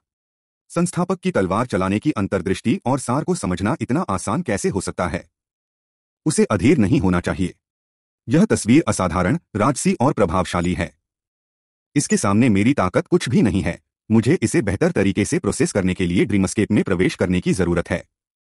आदित्य धीमी आवाज़ में बुदबुदाया। जिसके बाद उन्होंने अपनी आँखें बंद कर ली और शांति से ध्यान में बैठ गए। अपनी इच्छा शक्ति का प्रयोग करते हुए आदित्य ने तुरंत अपनी रचना के एक स्वप्नलोक में कदम रखा। पर्वतों और नदियों का आरेख जो उसने चुके अंधेरे जंगल के अंदर हरे वस्त्रधारी वरिष्ठ के स्वप्नेच्छा से प्राप्त किया था। हवा में निलंबित देखा जा सकता था। वह जितना मज़बूत होता गया, उसने इस डायग्राम को उतना ही असाधारण पाया। अभी पहाड़ों और नदियों का आरेख उस परिदृश्य में बदल गया था जो उसने पहले चित्र में देखा था। उसके ऊपर एक बड़ी चट्टान हवा में उड़ती हुई, बादलों के बीच इतनी तेज़ी से उड़ती हुई इतनी तेज थी कि नंगी आँखें उसकी गतिविधियों को ट्रैक करने में असमर्थ थीं। फिर भी क्योंकि वह इस सपने का निर्माता था, यहाँ सब कुछ उसके नियंत्रण में था। आदित्य बादलों के ऊपर खड़ा हो गया और महान रॉक फ्लाई पास्ट देखा। अचानक तलवार की चमकीली रोशनी की एक किरण नीले आसमान से नीचे उतरी, उसके शरीर को काटती हुई। महान रॉक तुरंत मर गया। हम, मैं इसके माध्यम से नहीं देख सकता, आदित्य घबराया नहीं था। उसने बार बार उस दृश्य को दोहराया, उस स्वर्ग चौंकाने वाली तलवार की हड़ताल को समझने की कोशिश कर रहा था। धीरे धीरे आदित्य को कुछ नज़र आया। यह तलवार का वार हवा के सार की तरह था। बड़ी चट्टान कितनी भी तेज क्यों न हो, वह हवा से बच नहीं सकती थी। हवा हर जगह मौजूद थी। और कोई फ़र्क नहीं पड़ता कि बड़ी चट्टान कितनी तेज या कितनी दूर उड़ गई, बचने का कोई रास्ता नहीं था। तलवार का वार हवा के भीतर छिपा था। मैंने पहले कभी भी हवा के शासनादेश में कोई अंतर्दृष्टि प्राप्त नहीं की है। क्या मैं इस हड़ताल को समझ पाऊँगा? अपनी तलवार लहराते हुए आदित्य ने सोचा। समझना एक बात थी, हकीकत में करना दूसरी बात। आखिर उसे पवन के शासनादेश के बारे में कुछ भी समझ में नहीं आया। लेकिन युद्ध तलवार संप्रदाय के प्रत्येक शिष्य के लिए पवन के शासनादेश को समझना असंभव है। जब तक मैं इसके पीछे के सार को समझने में सक्षम हूँ, मुझे एक कदम आगे बढ़ाने में सक्षम होना चाहिए। अपने सपनों के दृश्य को छोड़ते ही आदित्य ने अपनी आँखें बंद कर लीं। अपने सामने पहाड़ की प्राचीर को घूरते हुए उसने अपने हाथों को फैलाया, उस पर अपनी हथेलियाँ रखीं और इस तलवार के वार में अपनी अंतर्दृष्टि के बारे में सोचा। तुरंत एक चौंकाने वाली तलवार की किरण गुस्से से सीटी बजाती हुई आकाश और पृथ्वी को चीरते हुए आसमान में चली गई। पहाड़ की प्राचीर गायब हो गई। एक कदम आगे बढ़ते ही आदित्य के चेहरे पर मुस्कान आ गई। इस समय एक दूसरा पर्वत प्राचीर प्रकट हुआ, जिस पर दूसरा चित्र उकेरा गया था। चित्रित एक विशालकाय था जो इतना ऊँचा था कि उसका सिर आकाश को छूता था। वह एक कदम से पहाड़ों को कुचल सकता था और नदियों को नष्ट कर सकता था। इसमें से एक ताड़ का प्रहार भी इतना शक्तिशाली था कि आकाश को खंडित कर सकता था। यह पूरी तरह से विनाशकारी दृश्य था। जैसे ही दैत्य सरपट दौड़ रहा था, एक विशाल तलवार आकाश से नीचे गिरी, दैत्य को दो भागों में विभाजित कर दिया। इस तलवार की गति तेज नहीं थी। हालाँकि, जब यह गिरा, विशाल का विशाल शरीर कई पत्थरों और चट्टानों में परिवर्तित हो गया, अंततः एक पर्वत श्रृंखला में परिवर्तित हो गया। उस तलवार के वार की ताकत लाखों जिन से ऊपर है। आदित्य ने महसूस किया कि उसके दिल में झटके की ज्वार की लहरें दौड़ रही हैं। उसने अपनी आँखें बंद कर लीं, अपने सपनों के दृश्य में प्रवेश किया और उस दृश्य को एक बार फिर से दोहराया। उस विशाल तलवार से तलवार के वार के सार पर विचार करने की कोशिश कर रहा था। यह जब मैं अपने परशु कलाओं का अभ्यास करता हूँ तो मैं महान पृथ्वी के जनादेश के स्पंदन प्रभाव से इसकी मूल अवधारणा को पहले ही समझ चुका हूँ। आदित्य मुस्कुराया और अपनी आँखें खोली, फिर से पहाड़ की प्राचीर पर हाथ रखा। जैसे ही उसने एक और कदम उठाया, तलवार की एक और किरण आसमान में उड़ गई। आसपास की भीड़ जिसने आदित्य को लगातार दो कदम चलते देखा, उनके चेहरों पर आश्चर्य के भाव आने के अलावा और कुछ न हो सका। जूनियर ब्रदर किन वास्तव में आश्चर्यजनक है? वह वास्तव में दूसरी तलवार के हमले को पहले ही समझ चुका है। लिन शुआई ने दूर से आदित्य को घूरते हुए प्रशंसा की सांस ली। वे केवल पहले दो तलवारें हैं। क्या सीनियर भी आसानी से पहले सात तलवारों के वार को आसानी से नहीं समझ पाए थे? पहले सात कठिन नहीं हैं। ये लिंग शुआंग ने जवाब दिया। लिन शुआई मुस्कुराई, मैंने किया। हालाँकि मेरी गति उसकी तुलना कैसे कर सकती है? मुझे बताओ कि तुम्हें क्या लगता है कि छोटे भाई किन आज तलवार के कितने बार समझ पाएँगे? उसकी गति के आधार पर, उसकी समझने की क्षमता कमज़ोर नहीं लगती है। हो सकता है कि वह अन्य सदस्यों के समान ही हो, जिनके पास मज़बूत समझने की क्षमता थी। मुझे लगता है कि एक ही दिन में सात तलवारों के हमलों को समझने में सक्षम था। आठवीं तलवार के वार के बाद से अब यह इतना आसान नहीं होगा। ये लिंगशुआंग ने जवाब दिया। लियू यून, जो उसके बगल में था, ने सहमति में सिर हिलाया। उस समय ली हानियों ने भी एक ही दिन में तलवार के साथ प्रहारों को समझा था। हालाँकि आठवीं तलवार के हमले के लिए उसे कुल तीन दिन लगे और अंत में नौवे के लिए एक सप्ताह। नौवीं तलवार की हड़ताल को समझने में सक्षम होने के लिए ली हानियों की समझ पहले से ही बहुत उत्कृष्ट है। शायद उसे एक साल में चौदह तलवारों के वार को समझने का मौका मिलेगा। लिन शुआई ने ली हानियों की दिशा में देखा। जब तलवार की बात आती है तो इस लड़की की समझ बहुत अधिक थी। वह एक वर्ष के भीतर चौदह तलवारों के वार को समझने में सक्षम होनी चाहिए। जूनियर किन ने तीसरी तलवार के प्रहार को पहले ही समझ लिया था? कितनी तेज़ी से इस पल में लिन शुआई की आँखों में अचानक तेज चमक आ गई। तीसरी तलवार के प्रहार को आदित्य ने सहजता से समझ लिया। आज तलवार के साथ वार कनिष्ठ भाई किन की समझ की सीमा नहीं हो सकते हैं? जियांग हुई, आपको क्या लगता है कि वह कितने तलवार के वार को समझ पाएगा? ये लिंगशुआंग ने अपनी निगाहें दुबले पले युवक जियांग हुई की ओर घुमाई। जियांग हुई की समझ भी बेहद शक्तिशाली थी। कोई विचार नहीं है, लेकिन वह सात तलवारों के वार को समझने के रिकॉर्ड को तोड़ने में सक्षम होना चाहिए, जियांग हुई ने चुपचाप उत्तर दिया। जब वे बातें कर रहे थे, आदित्य ने पहले ही चौथी तलवार के वार को समझ लिया था और तुरंत उसने आसपास के कई लोगों का ध्यान आकर्षित किया। कितनी तेज़ी से वह पहले से ही चौथी तलवार की हड़ताल पर है। रिकॉर्ड दो घंटे में तलवार के साथ प्रहार कर रहा था। यदि यह जारी रहा तो वह थोड़ी देर में सातवें तलवार के प्रहार तक पहुँच सकेगा। कुछ के चेहरे पर हैरानी थी, यह नया आया हुआ कनिष्ठ भाई वास्तव में असाधारण लग रहा था। पहले से ही पांचवीं तलवार की हड़ताल पर यह गति पागल है। सब लोग चल पड़े, आदित्य अपना पांचवा कदम उठा चुका था और तलवार की पाँच और कड़ियाँ फूटने लगीं। यह पाँचवें सोपान पर तलवार के वार को समझने का संकेत था। बहुत बढ़िया, लिन शुआई को आदित्य ने भी इसी तरह चौंका दिया था। आखिरी दो तलवार के हमले पहले पाँच की तुलना में कहीं अधिक कठिन हैं। यह इतनी आसानी से समझ में नहीं आएगा। भीड़ में से किसी ने कहा। हालाँकि जैसे ही उनकी आवाज़ की आवाज़ फीकी पड़ी, आदित्य ने छठी तलवार के वार को पहले ही समझ लिया था। यह कैसे हो सकता है? क्या यह अंधा भाग्य है? जो व्यक्ति पहले बोलता था, वह अत्यंत उदास महसूस करता था। मानो आदित्य की सफलता उसके चेहरे पर एक तमाचा हो। इस वजह से कई लोग उन्हें तिरस्कार की दृष्टि से देखते थे। वह रिकॉर्ड तोड़ने जा रहा है, एक अन्य व्यक्ति ने कहा। मुझे विश्वास नहीं है कि वह सातवीं तलवार के वार को इतनी तेज़ी से समझ पाएगा। वह व्यक्ति जो पहले बोलता था, उसने हटपूर्वक टिप्पणी की। और वास्तव में इस बार आदित्य कुछ समय के लिए निश्चल खड़ा रहा, चुपचाप खड़ा रहा, मानो तलवार के वार की तीव्रता से स्तब्ध रह गया हो। हाँ हाँ मैंने क्या कहा, वह व्यक्ति हंसा जब उसने अपने बगल के लोगों को श्रेष्ठता की हवा से देखा। लेकिन जब उसने पीछे मुड़कर दूसरों के चेहरों पर अजीब भाव देखे तो वह तेज़ी से मुड़ा और पहाड़ के रास्ते की दिशा में देखने लगा। तलवार के प्रकाश की किरणों ने आकाश को भर दिया, आदित्य ने सातवां चरण पूरा कर लिया था। जैसे ही उसने सातवां चरण पूरा किया, तेज रोशनी के एक प्रभामंडल ने उसे ढक लिया, जिससे कई लोग ईर्ष्या से आह भर रहे थे। उसके सिर के ऊपर वास्तव में एक तलवार की आवाज़ें सुनाई दे रही थीं, जो लगातार बाहर निकल रही थीं। उन्होंने रिकॉर्ड तोड़ दिया, भीड़ अविश्वास से आदित्य को देखती रही। उन्हें उम्मीद नहीं थी कि एक नया सदस्य कम से कम समय में तलवार के साथ प्रहारों को समझने के रिकॉर्ड को तोड़ने में सक्षम होगा। लिन शुआई का चेहरा मुस्कान से भर गया। कोई आश्चर्य नहीं कि पूर्वज ने अपने स्वामी को उसे युद्ध तलवार संप्रदाय में लाने की आज्ञा दी थी। ऐसा लग रहा था कि पूर्वज ने उनकी प्रतिभा पर पहले ही गौर कर लिया था। तो क्या हुआ अगर उसने रिकॉर्ड तोड़ा? आठवीं तलवार का वार इतना आसान नहीं होने वाला है। कोई रास्ता नहीं है कि वह अगला कदम उठा सके, कुछ ने असंतुष्ट स्वर में टिप्पणी की। उन्हें विश्वास ही नहीं हो रहा था कि एक नौसिखिया वह कर पाएगा जो वे नहीं कर पाए। यह सच नहीं हो सकता है। शायद बाद में देखने के लिए हमारे पास एक अच्छा शो होगा। भीड़ में से एक और व्यक्ति प्रशंसा से भरे स्वर में बोला। दूरी में कुछ छायाचित्रों को अंधाधुंध गति से उड़ते हुए देखा जा सकता था। ज़ाहिर तौर पर तलवार चलाने की आवाज़ इस बात का संकेत थी कि किसी ने रिकॉर्ड तोड़ा है। युद्ध तलवार संप्रदाय में दूसरों का ध्यान आकर्षित करना। आठवीं तलवार का वार, उस लंपट आदमी के लिए इसे समझना इतना आसान नहीं होगा। ये लिंगशुआंग ने अपने दिल में शाप देते हुए आदित्य पर नज़र डालने से पहले लिटिल रास्कल पर एक नज़र डाली, जो उसकी बाहों में था। अगर वह आदमी जो लियू युन जैसा लंपट था, वास्तव में इतनी उत्कृष्ट प्रतिभा रख सकता था तो स्वर्ग अंधा हो गया होगा। अगर आदित्य को पता होता कि वह छोटे साले की हरकतों से लंपट हो गया है तो शायद उसे इतना गुस्सा आता कि वह खून की उल्टी कर देता।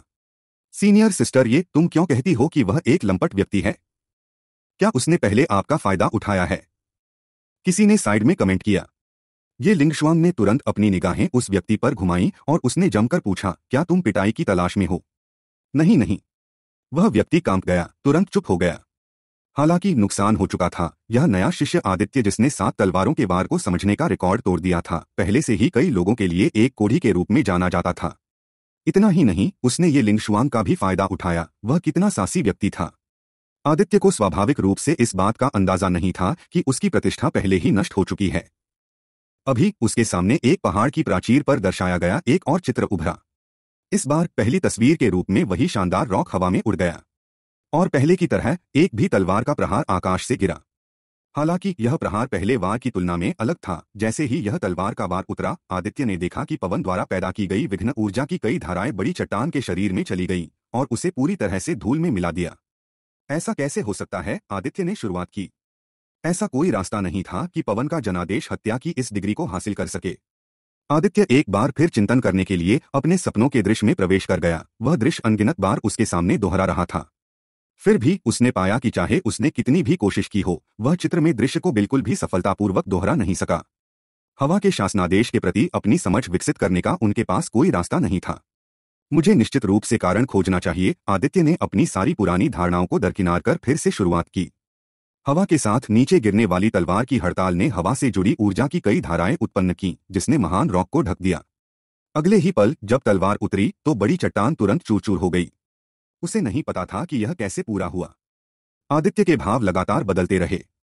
वह गहरी सोच में डूब गया, और पलक झपकते ही दो घंटे बीत चुके थे। इस वक्त कई लोग अचानक हंस पड़े। ऐसा लग रहा था कि आदित्य अपने मौजूदा स्तर पर इस स्ट्राइक को समझ नहीं पाएँगे।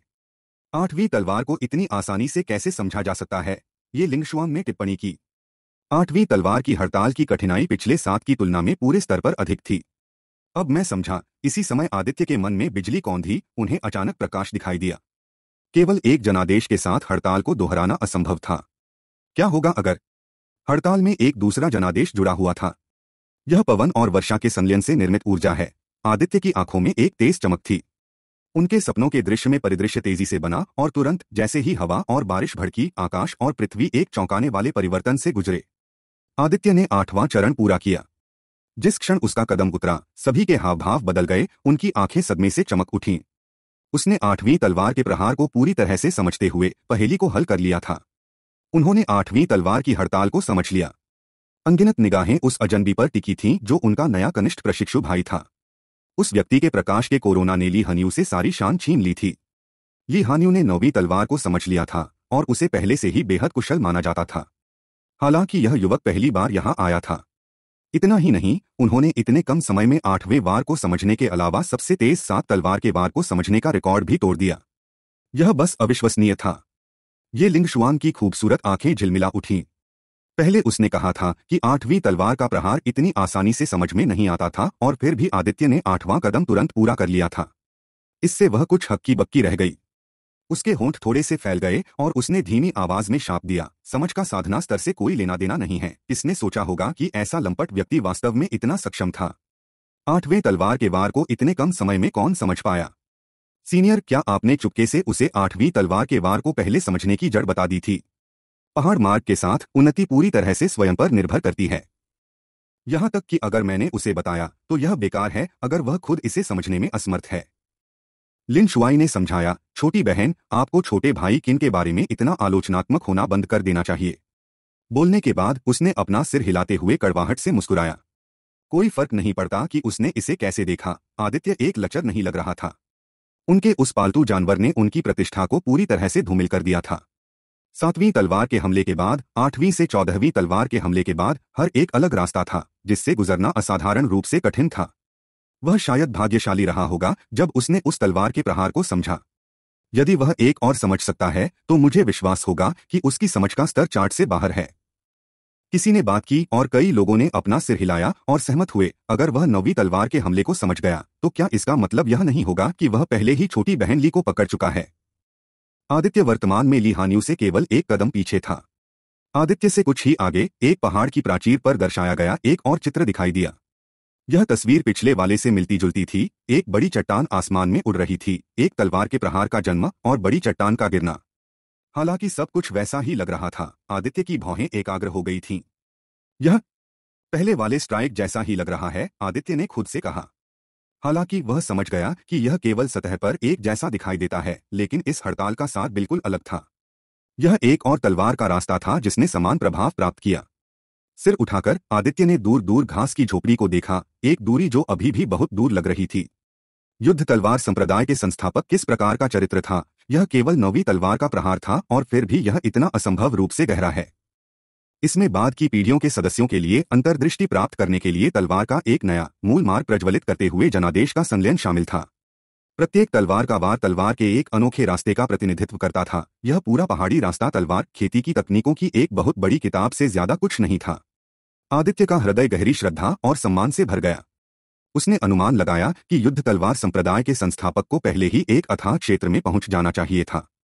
यह पहाड़ी मार्ग ऐसा था कि वर्तमान पीढ़ी का कोई भी सदस्य अंत तक आगे बढ़ने में सक्षम नहीं था। नौ स्वॉर्ड सॉवरेन भी ऐसा करने में विफल रहे थे। उसके बाद, हज़ारों साल पहले, एक वरिष्ठ ने इसे पूरा किया था। वह पूरे रास्ते पर चला गया और अंत में घास की झोपड़ी में प्रवेश कर गया। उस क्षण से युद्ध तलवार संप्रदाय वस्तुतः बेजोड़ हो गया। इससे यह देखना संभव हो गया कि संस्थापक कितना मज़बूत था। अफवाहें कि वह पहले से ही तलवार अमर होने के स्तर तक पहुँच गया था, सच भी हो सकता है। जैसा कि आदित्य ने यहाँ सोचा था, उन्होंने एक बार फिर ध्यान केंद्रित करने का फैसला किया और इस तलवारबाजी पर गहन विचार करना शुरू कर दिया। दो घंटे बाद उन्होंने अंतः उन सूक्ष्म अंतरों की खोज की जो इस और पिछले तलवार के हमले के बीच मौजूद थे। तलवार के वार के लिए पहले, जब तलवार उतरती थी तो हवा धागों की पतली लटों की तरह होती थी, जिसमें अतुलनीय तीक्ष्णता होती थी, जो पतली हवा में गायब होने से पहले बड़ी चट्टान के शरीर को कई हिस्सों में अलग करने में सक्षम थी। अचानक आदित्य ने पहले तलवार के वार के बारे में सोचा जब हवा और बारिश के जनादेश एक हो गए थे। ठंडी हवा जो अपने साथ बारिश की बूंदों की शक्ति लेकर आई, क्योंकि वे एक लक्ष्य में धंस गईं। यदि इसे अनगिनत बार बढ़ाया गया और एक मानव शरीर पर उतरा तो तलवार उत्पन्न हो सकती है। जब चट्टान की मृत्यु हो गई थी, तब उत्पन्न प्रभाव के समान होगा। इस तरह वह पहले से तलवार के वार को समझने में कामयाब रहे। हालाँकि नौवीं तलवार की हड़ताल के लिए तलवार का रास्ता अलग था। यद्यपि यह समान दिखता था, आदित्य समझ सकता था कि जब तलवार उतरी तो विनाश का एक विस्फोट हुआ जिसने महान रॉक के शरीर को विस्फोट करने के कारण पूरी तरह से तबाही मचाई। क्या इस दुनिया में हर तरह का जनादेश एक दूसरे के साथ विलय करने में सक्षम हो सकता है? आदित्य ने अनुमान लगाया। संस्थापक ने बाद की पीढ़ियों को भविष्य में उनकी खेती के मार्ग पर मार्गदर्शन करने में मदद करने के लिए एक घास की झोपड़ी छोड़ दी थी। सभी जनादेश एक साथ जुड़े होने में सक्षम थे। बाद में बनाया गया प्रभाव बेहद भयानक होगा और यहाँ तक कि इतना बदल भी सकता है कि संलयन से पहले उपयोग किए जाने वाले जनादेश के कोई संकेत नहीं थे। आकाशीय घटना क्या है? कोई एक नक्षत्र को कैसे संघनित करता है? क्या यह किसी के जनादेश के विकास के माध्यम से हासिल किया गया है? आदित्य ने सोचा। यदि दिव्य घटना आरोही इस पर्वत मार्ग पर चलने की कोशिश करने आए तो उन्हें यह आसान लगेगा क्योंकि उनके जनादेश की उनकी समझ गहरी थी। आदित्य ने अपनी हथेलियों को पहाड़ की प्राचीर पर रखा और तुरंत पर्वत की प्राचीर के गायब होते ही तलवार की रोशनी की एक किरण आकाश की ओर चली गई। आदित्य ने फिर बुदबुदाया, यह तलवार का वार हवा और गरज के जनादेश के बीच एक संलन था उसके बाद नौवीं तलवार की हड़ताल समझ में आई और उसने एक और कदम आगे बढ़ाया। वह सोच रहा था कि हवा और गड़गड़ाहट के जनादेश से निर्मित फ्यूजड ऊर्जा कितनी भयानक थी। तलवार केवल वह उपकरण था जिसका उपयोग भयानक शक्ति को उजागर करने के लिए किया जाता था क्योंकि उस समय के संस्थापक एक तलवार उपयोग करता थे।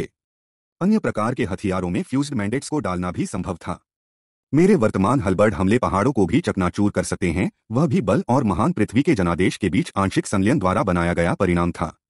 यह पर्वत मार्ग वास्तव में एक आश्चर्य है। मैं अब भविष्य में अपने पथ के बारे में निश्चित हूँ। आदित्य समझ गए कि घास की झोपड़ी का रास्ता, जिसे संस्थापक ने पीछे छोड़ दिया था, न तो साधना कला थी और न ही कोई सहज तकनीक। बल्कि यह युवा पीढ़ी को उनकी खेती के मार्ग पर मार्गदर्शन करने के लिए एक दीपक स्तंभ था। यदि आप एक तलवार उपयोग करता थे तो तलवार को जनादेश के संलयन के लिए एक उपकरण के रूप में उपयोग करना तलवार अमर बनने का मार्ग था। इससे कोई भी यह देख सकता था कि घास की झोपड़ी तक जाने के लिए इस रास्ते को बनाने में संस्थापक ने कितनी मेहनत की थी। यह वास्तव में एक सर्वोच्च, अतुलनीय खजाना था। शिष्यों को अंतर्दृष्टि प्राप्त करने के लिए स्वयं पर निर्भर रहना पड़ता था, न कि दूसरों की शिक्षाओं पर। तभी समझी गई जानकारी शिष्यों के मन में गहरी छाप छोड़ पाएगी। अब तक आदित्य नौवा चरण पूरा कर चुका था। वर्तमान में उसके पास खड़ा एक और छायाचित्र था। यह कोई और नहीं, लीहानियो, पहले सभी के मुँह में बोली जाने वाली प्रतिभा के अलावा और कोई नहीं था। जैसे ही ली हनियो ने अपनी निगाहें घुमाई, उसकी आँखों में एक अजीब सी चमक आ गई और उसने आदित्य को देखा जो अब उसके पास खड़ा था। वास्तव में कोई और था जिसने नौवे तलवार के प्रहार को भी समझा था? इतना ही नहीं, वह काफ़ी यंग नज़र आ रहे थे। उसके संप्रदाय में प्रवेश करने के परिणामस्वरूप युद्ध तलवार संप्रदाय के कई शिष्य थे जिन्हें वह नहीं पहचानती थी और उन्हें उनसे परिचित होने में भी कोई दिलचस्पी नहीं थी। इसलिए वह नहीं जानती थी कि आदित्य एक नया शिष्य था जिसे युद्ध तलवार संप्रदाय ने हाल ही में भर्ती किया था। क्या आपने पहले इस तलवार के प्रहार की पहेली को सुलझाया है? उसकी कोमल आवाज़ तीखेपन से भरी हुई थी। जिससे शक्ति का आभास हो रहा था। इस समय आदित्य भी अपने बगल में खड़ेली हानियों को देख रहा था। इससे पहले, जब वे पिछले तलवार के प्रहारों को समझ रहे थे, उस दौरान वे कुछ अन्य शिष्यों से भी मिले थे। हालाँकि, उन सभी ने उसे अनदेखा करना चुना था और चित्रों में निहित रहस्यों पर अपना ध्यान केंद्रित किया था। ली हानियों का रूप वास्तव में आश्चर्यजनक था। यहाँ तक कि वह भी उसकी सुंदरता की प्रशंसा किए बिना नहीं रह सका। अगर वह मो किंगचेंग और किंगेर जैसी खूबसूरत लड़कियों को अपने साथ रखने का आदि नहीं था तो वह उसकी ओर आकर्षित भी हो सकता था। हम आदित्य को इतने गौर से उसकी ओर देखते हुए ली हानियू अपने आप को रोक नहीं पाई और ठंडी सूंघने लगी। उसके हाव भाव में तिरस्कार झलक रहा था। ये नौजवान सब एक जैसे थे, सबने उसे देखते ही एक जैसी प्रतिक्रिया दी। नहीं, मैंने नहीं किया है। आदित्य ने अपनी निगाहें हटाने से पहले लापरवाही से जवाब दिया। ऐसा लग रहा था जैसे वह अप्रभावित था। ये हानियों की आँखें अनायास ही एक ठंडी हँसी के साथ टिमटिमा उठीं, क्योंकि उन्होंने सोचा था कि उनके सामने यह आदमी वास्तव में एक महान अभिनेता था। वह उसे कैसे देख रहा था? इस पर उसकी नाखुशी को ध्यान में रखते हुए, तनाव को भंग करने की उम्मीद में आदित्य ने तुरंत सामान्य व्यवहार करना शुरू कर दिया। हालाँकि उसने पहले किस तरह की तरकीबें नहीं देखी थीं। उसके आसपास के सभी लोग पहले से ही कई तरह के हथकंडे आजमा चुके थे। आदित्य का घटिया अभिनय उसे जरा सा भी बेवकूफ़ कैसे बना सकता है? तलवार के इस प्रहार की कठिनाई असाधारण है, और ऐसा कुछ नहीं है जिसे आप समझ सकते हैं। ये हानियों ने अहंकारी लहजे में धीरे से बात की। आदित्य ने भौहें चढ़ाई, लेकिन उसे कोई जवाब नहीं दिया। उसने उसे नजरअंदाज कर दिया और अपना ध्यान वापस पहाड़ की प्राचीर पर दर्शाए गए चित्र पर लगाया। एक तलवार के रूप में महान चट्टान आकाश में चढ़ता है, उस पर उतरता है। यह तस्वीर असल में वैसी ही थी, जैसी उसने पहले कदम पर पीछे मुड़कर देखी थी। वास्तव में आठवीं तलवार की हड़ताल से तुलना करने पर भी यह तलवार की हड़ताल पहली हड़ताल से अधिक मिलती जुलती थी, जिससे वह उस दृश्य पर वापस लौट आया जहाँ उसने पहली तलवार की हड़ताल की पहली हल की थी। हवा की ताकत वाली तलवार। फिर भी यह बिल्कुल वैसा ही कैसे हो सकता है? इस बार आदित्य यहाँ चार घंटे तक रहे, फिर भी वह अभी भी इससे बाहर निकलने में असमर्थ थे। इससे आसपास के दर्शकों की साँसें थम गईं। दरअसल दसवीं तलवार का वार समझना कई गुना ज़्यादा मुश्किल था। नौवीं तलवार के हमले को समझने में आदित्य सक्षम होना पहले से ही एक उपलब्धि थी जिसने उन्हें कई लोगों की प्रशंसा अर्जित की। उनकी समझ निस्संदेह एक प्रतिभा के स्तर पर भी होनी चाहिए। हालाँकि दसवीं तलवार की हड़ताल के लिए अगर ली हनियो भी इसे समझने में विफल रहे तो निस्संदेह यह आदित्य के लिए भी एक चुनौती साबित होगी। आदित्य ने कई बार कोशिश की, लेकिन फिर भी अंत में असफल रहे। वह तलवार के इस प्रहार के सार को समझने में असमर्थ था। पलक झपकते ही आसमान में अंधेरा छा गया और भोर आ गई। एक दिन पहले ही बीत चुका था, लेकिन आदित्य और लिहानियो अभी भी अपने मूल स्थान पर स्थिर रूप से खड़े थे। आदित्य ने उस दृश्य पर ध्यान केंद्रित किया, जहाँ उन्होंने नौवीं तलवार की हड़ताल को समझ लिया था। इस उम्मीद में कि वह अपने सपनों के दृश्य में दसवीं तलवार की हड़ताल को समझने के लिए बार बार कोशिश कर रहे थे।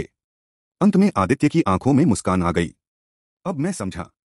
ली हनीयू जो उसके बगल में थी, ठीक होने से पहले अचानक सदमे से काँप उठी और वह ठंडी हँसी में बोली, अपना बेशर्म डींग मारना बंद करो। इस तलवारबाजी की कठिनाई कुछ ऐसी थी जिस पर वह बहुत स्पष्ट थी। इसे इतनी आसानी से कैसे डिक्रिप्ट किया जा सकता है? आदित्य ने उसके चेहरे पर एक अविचलित मुस्कान के साथ उसकी ओर देखा। इसके बाद उसने अपनी हथेलियों को पहाड़ की प्राचीर पर रखा और अपने विचारों का अभ्यास किया। तुरंत एक तेज रोशनी चमक उठी जैसे तलवार की किरण आकाश के गुंबद में घुस गई। दसवीं तलवार का प्रहार समझ में आया। आदित्य ने एक और कदम आगे बढ़ाया और लिहानियों की नज़रों से उछल हो गया। यह कैसे हो सकता है? उसके चेहरे पर सदमे से अभिभूत होने के भाव प्रकट हुए। वह दसवीं तलवार के प्रहार की पहेली भी नहीं सुलझा पाई थी, फिर भी कोई वास्तव में उसे समझ चुका था। आदित्य के चेहरे पर उस मुस्कान के बारे में सोचते हुए ली ने अपने दिल में कहा, क्या ऐसा हो सकता है कि वह व्यक्ति एक कुशल षड्यंत्रकारी है? क्या उसने दसवीं तलवार के वार को पहले ही समझ लिया था और जानबूझकर मेरे सामने ऐसा किया था क्योंकि वह चाहता था कि मैं उस पर ध्यान दूँ? इस निष्कर्ष पर पहुँचने के बाद लिन हानियू ने कोई और अनुमान नहीं लगाया। उसके इरादे चाहे जो भी हों, आदित्य को दसवीं तलवार के वार की बात समझ में आ गई थी। वह खुद को यहाँ कैसे फंसी रहने दे सकती है? जब आदित्य ने देखा कि दसवीं तलवार का प्रहार समझ में आ गया है तो सभी दर्शक प्रशंसा के बिना नहीं रह सके। अभी किसी और को आदित्य की समझने की क्षमता पर संदेह नहीं था। वह ली हानियों के बाद यहाँ पहुँचा था, और फिर भी जब दसवीं तलवार के वार को समझने की बात आई तो वह उसकी तुलना में बहुत तेज था। आदित्य ने चुपचाप अपने लकी स्टार्स का शुक्रिया अदा किया। दसवीं तलवार की हड़ताल बेहद कठिन थी। ठीक वैसी ही स्थिति थी जैसे आठवीं तलवार की हड़ताल और जनादेश का संलन भी हवा और बारिश का था। यहाँ तक कि वह लगभग इसके द्वारा बरगलाया गया था। हर तरह के जनादेश में विविधताओं की भीड़ होती है। पवन के शासनादेश के लिए प्रथम स्तर की अंतर्दृष्टि विंड स्पीड थी, दूसरे स्तर की अंतर्दृष्टि के लिए यह विंड लैक्रेशन हो सकती है। दूसरे स्तर की अंतर्दृष्टि के बाद, विंड लेसरेशन परफेक्शन बाउंड्री तक पहुँच गया था। यह फिर से विकसित हो सकता है और भी अधिक विविधताओं को जन्म दे सकता है। जब एक जनादेश दूसरे के साथ जुड़ जाता है तो विलय में उपयोग किए गए जनादेश की विविधताओं के आधार पर उन सभी के अलग अलग परिणाम होंगे। आठवीं तलवार की हड़ताल और दसवीं तलवार की हड़ताल जनादेश की विविधताओं की जटिलता के बहुत अच्छे उदाहरण थे। आदित्य ने चुपचाप अपने आप पर विचार किया। भले ही दो लोगों ने एक ही प्रकार के शासनादेशों को समझा हो, उनके युद्ध के रास्ते अलग अलग होंगे जो उनके द्वारा समझी गई विविधताओं के आधार पर होंगे। साथ ही, भविष्य में, उनमें से केवल दो के बजाय कई प्रकार के जनादेशों के अतिरिक्त संलयन हो सकते हैं। इसलिए, विविधताएँ अनंत थीं। आदित्य के पास भी इसकी भविष्यवाणी करने का कोई तरीका नहीं था। दसवीं तलवार के वार ने आदित्य को प्रबुद्ध कर दिया। उसके बाद, केवल तीन दिनों के अंतराल में, उसने लगातार अंतिम चार तलवारों के प्रहारों को समझ लिया। इसने एक बार फिर रिकॉर्ड तोड़ने के लिए एक वसीयतनामा के बारे में तबाही का एक भयानक तूफ़ान पैदा कर दिया। तलवार की एक अंथीन मात्रा क्यूई तलवार के तूफ़ान से फूट सकती है, जो आकाश और पृथ्वी को घेरे हुए है। भीड़ तलवार की चमकीली रोशनी में नहा रहे इस युवक को घूरती रही। वह इतना चकाचौंध कर रहा था कि बादलों के ऊपर दूर छिपी हुई ऊँची तलवारें भी थीं, जो उसके द्वारा किए गए हंगामे को देख रही थीं। आदित्य ने पाँच छोटे दिनों में कुल चौदह तलवारों के प्रहारों को सफलतापूर्वक समझ लिया था।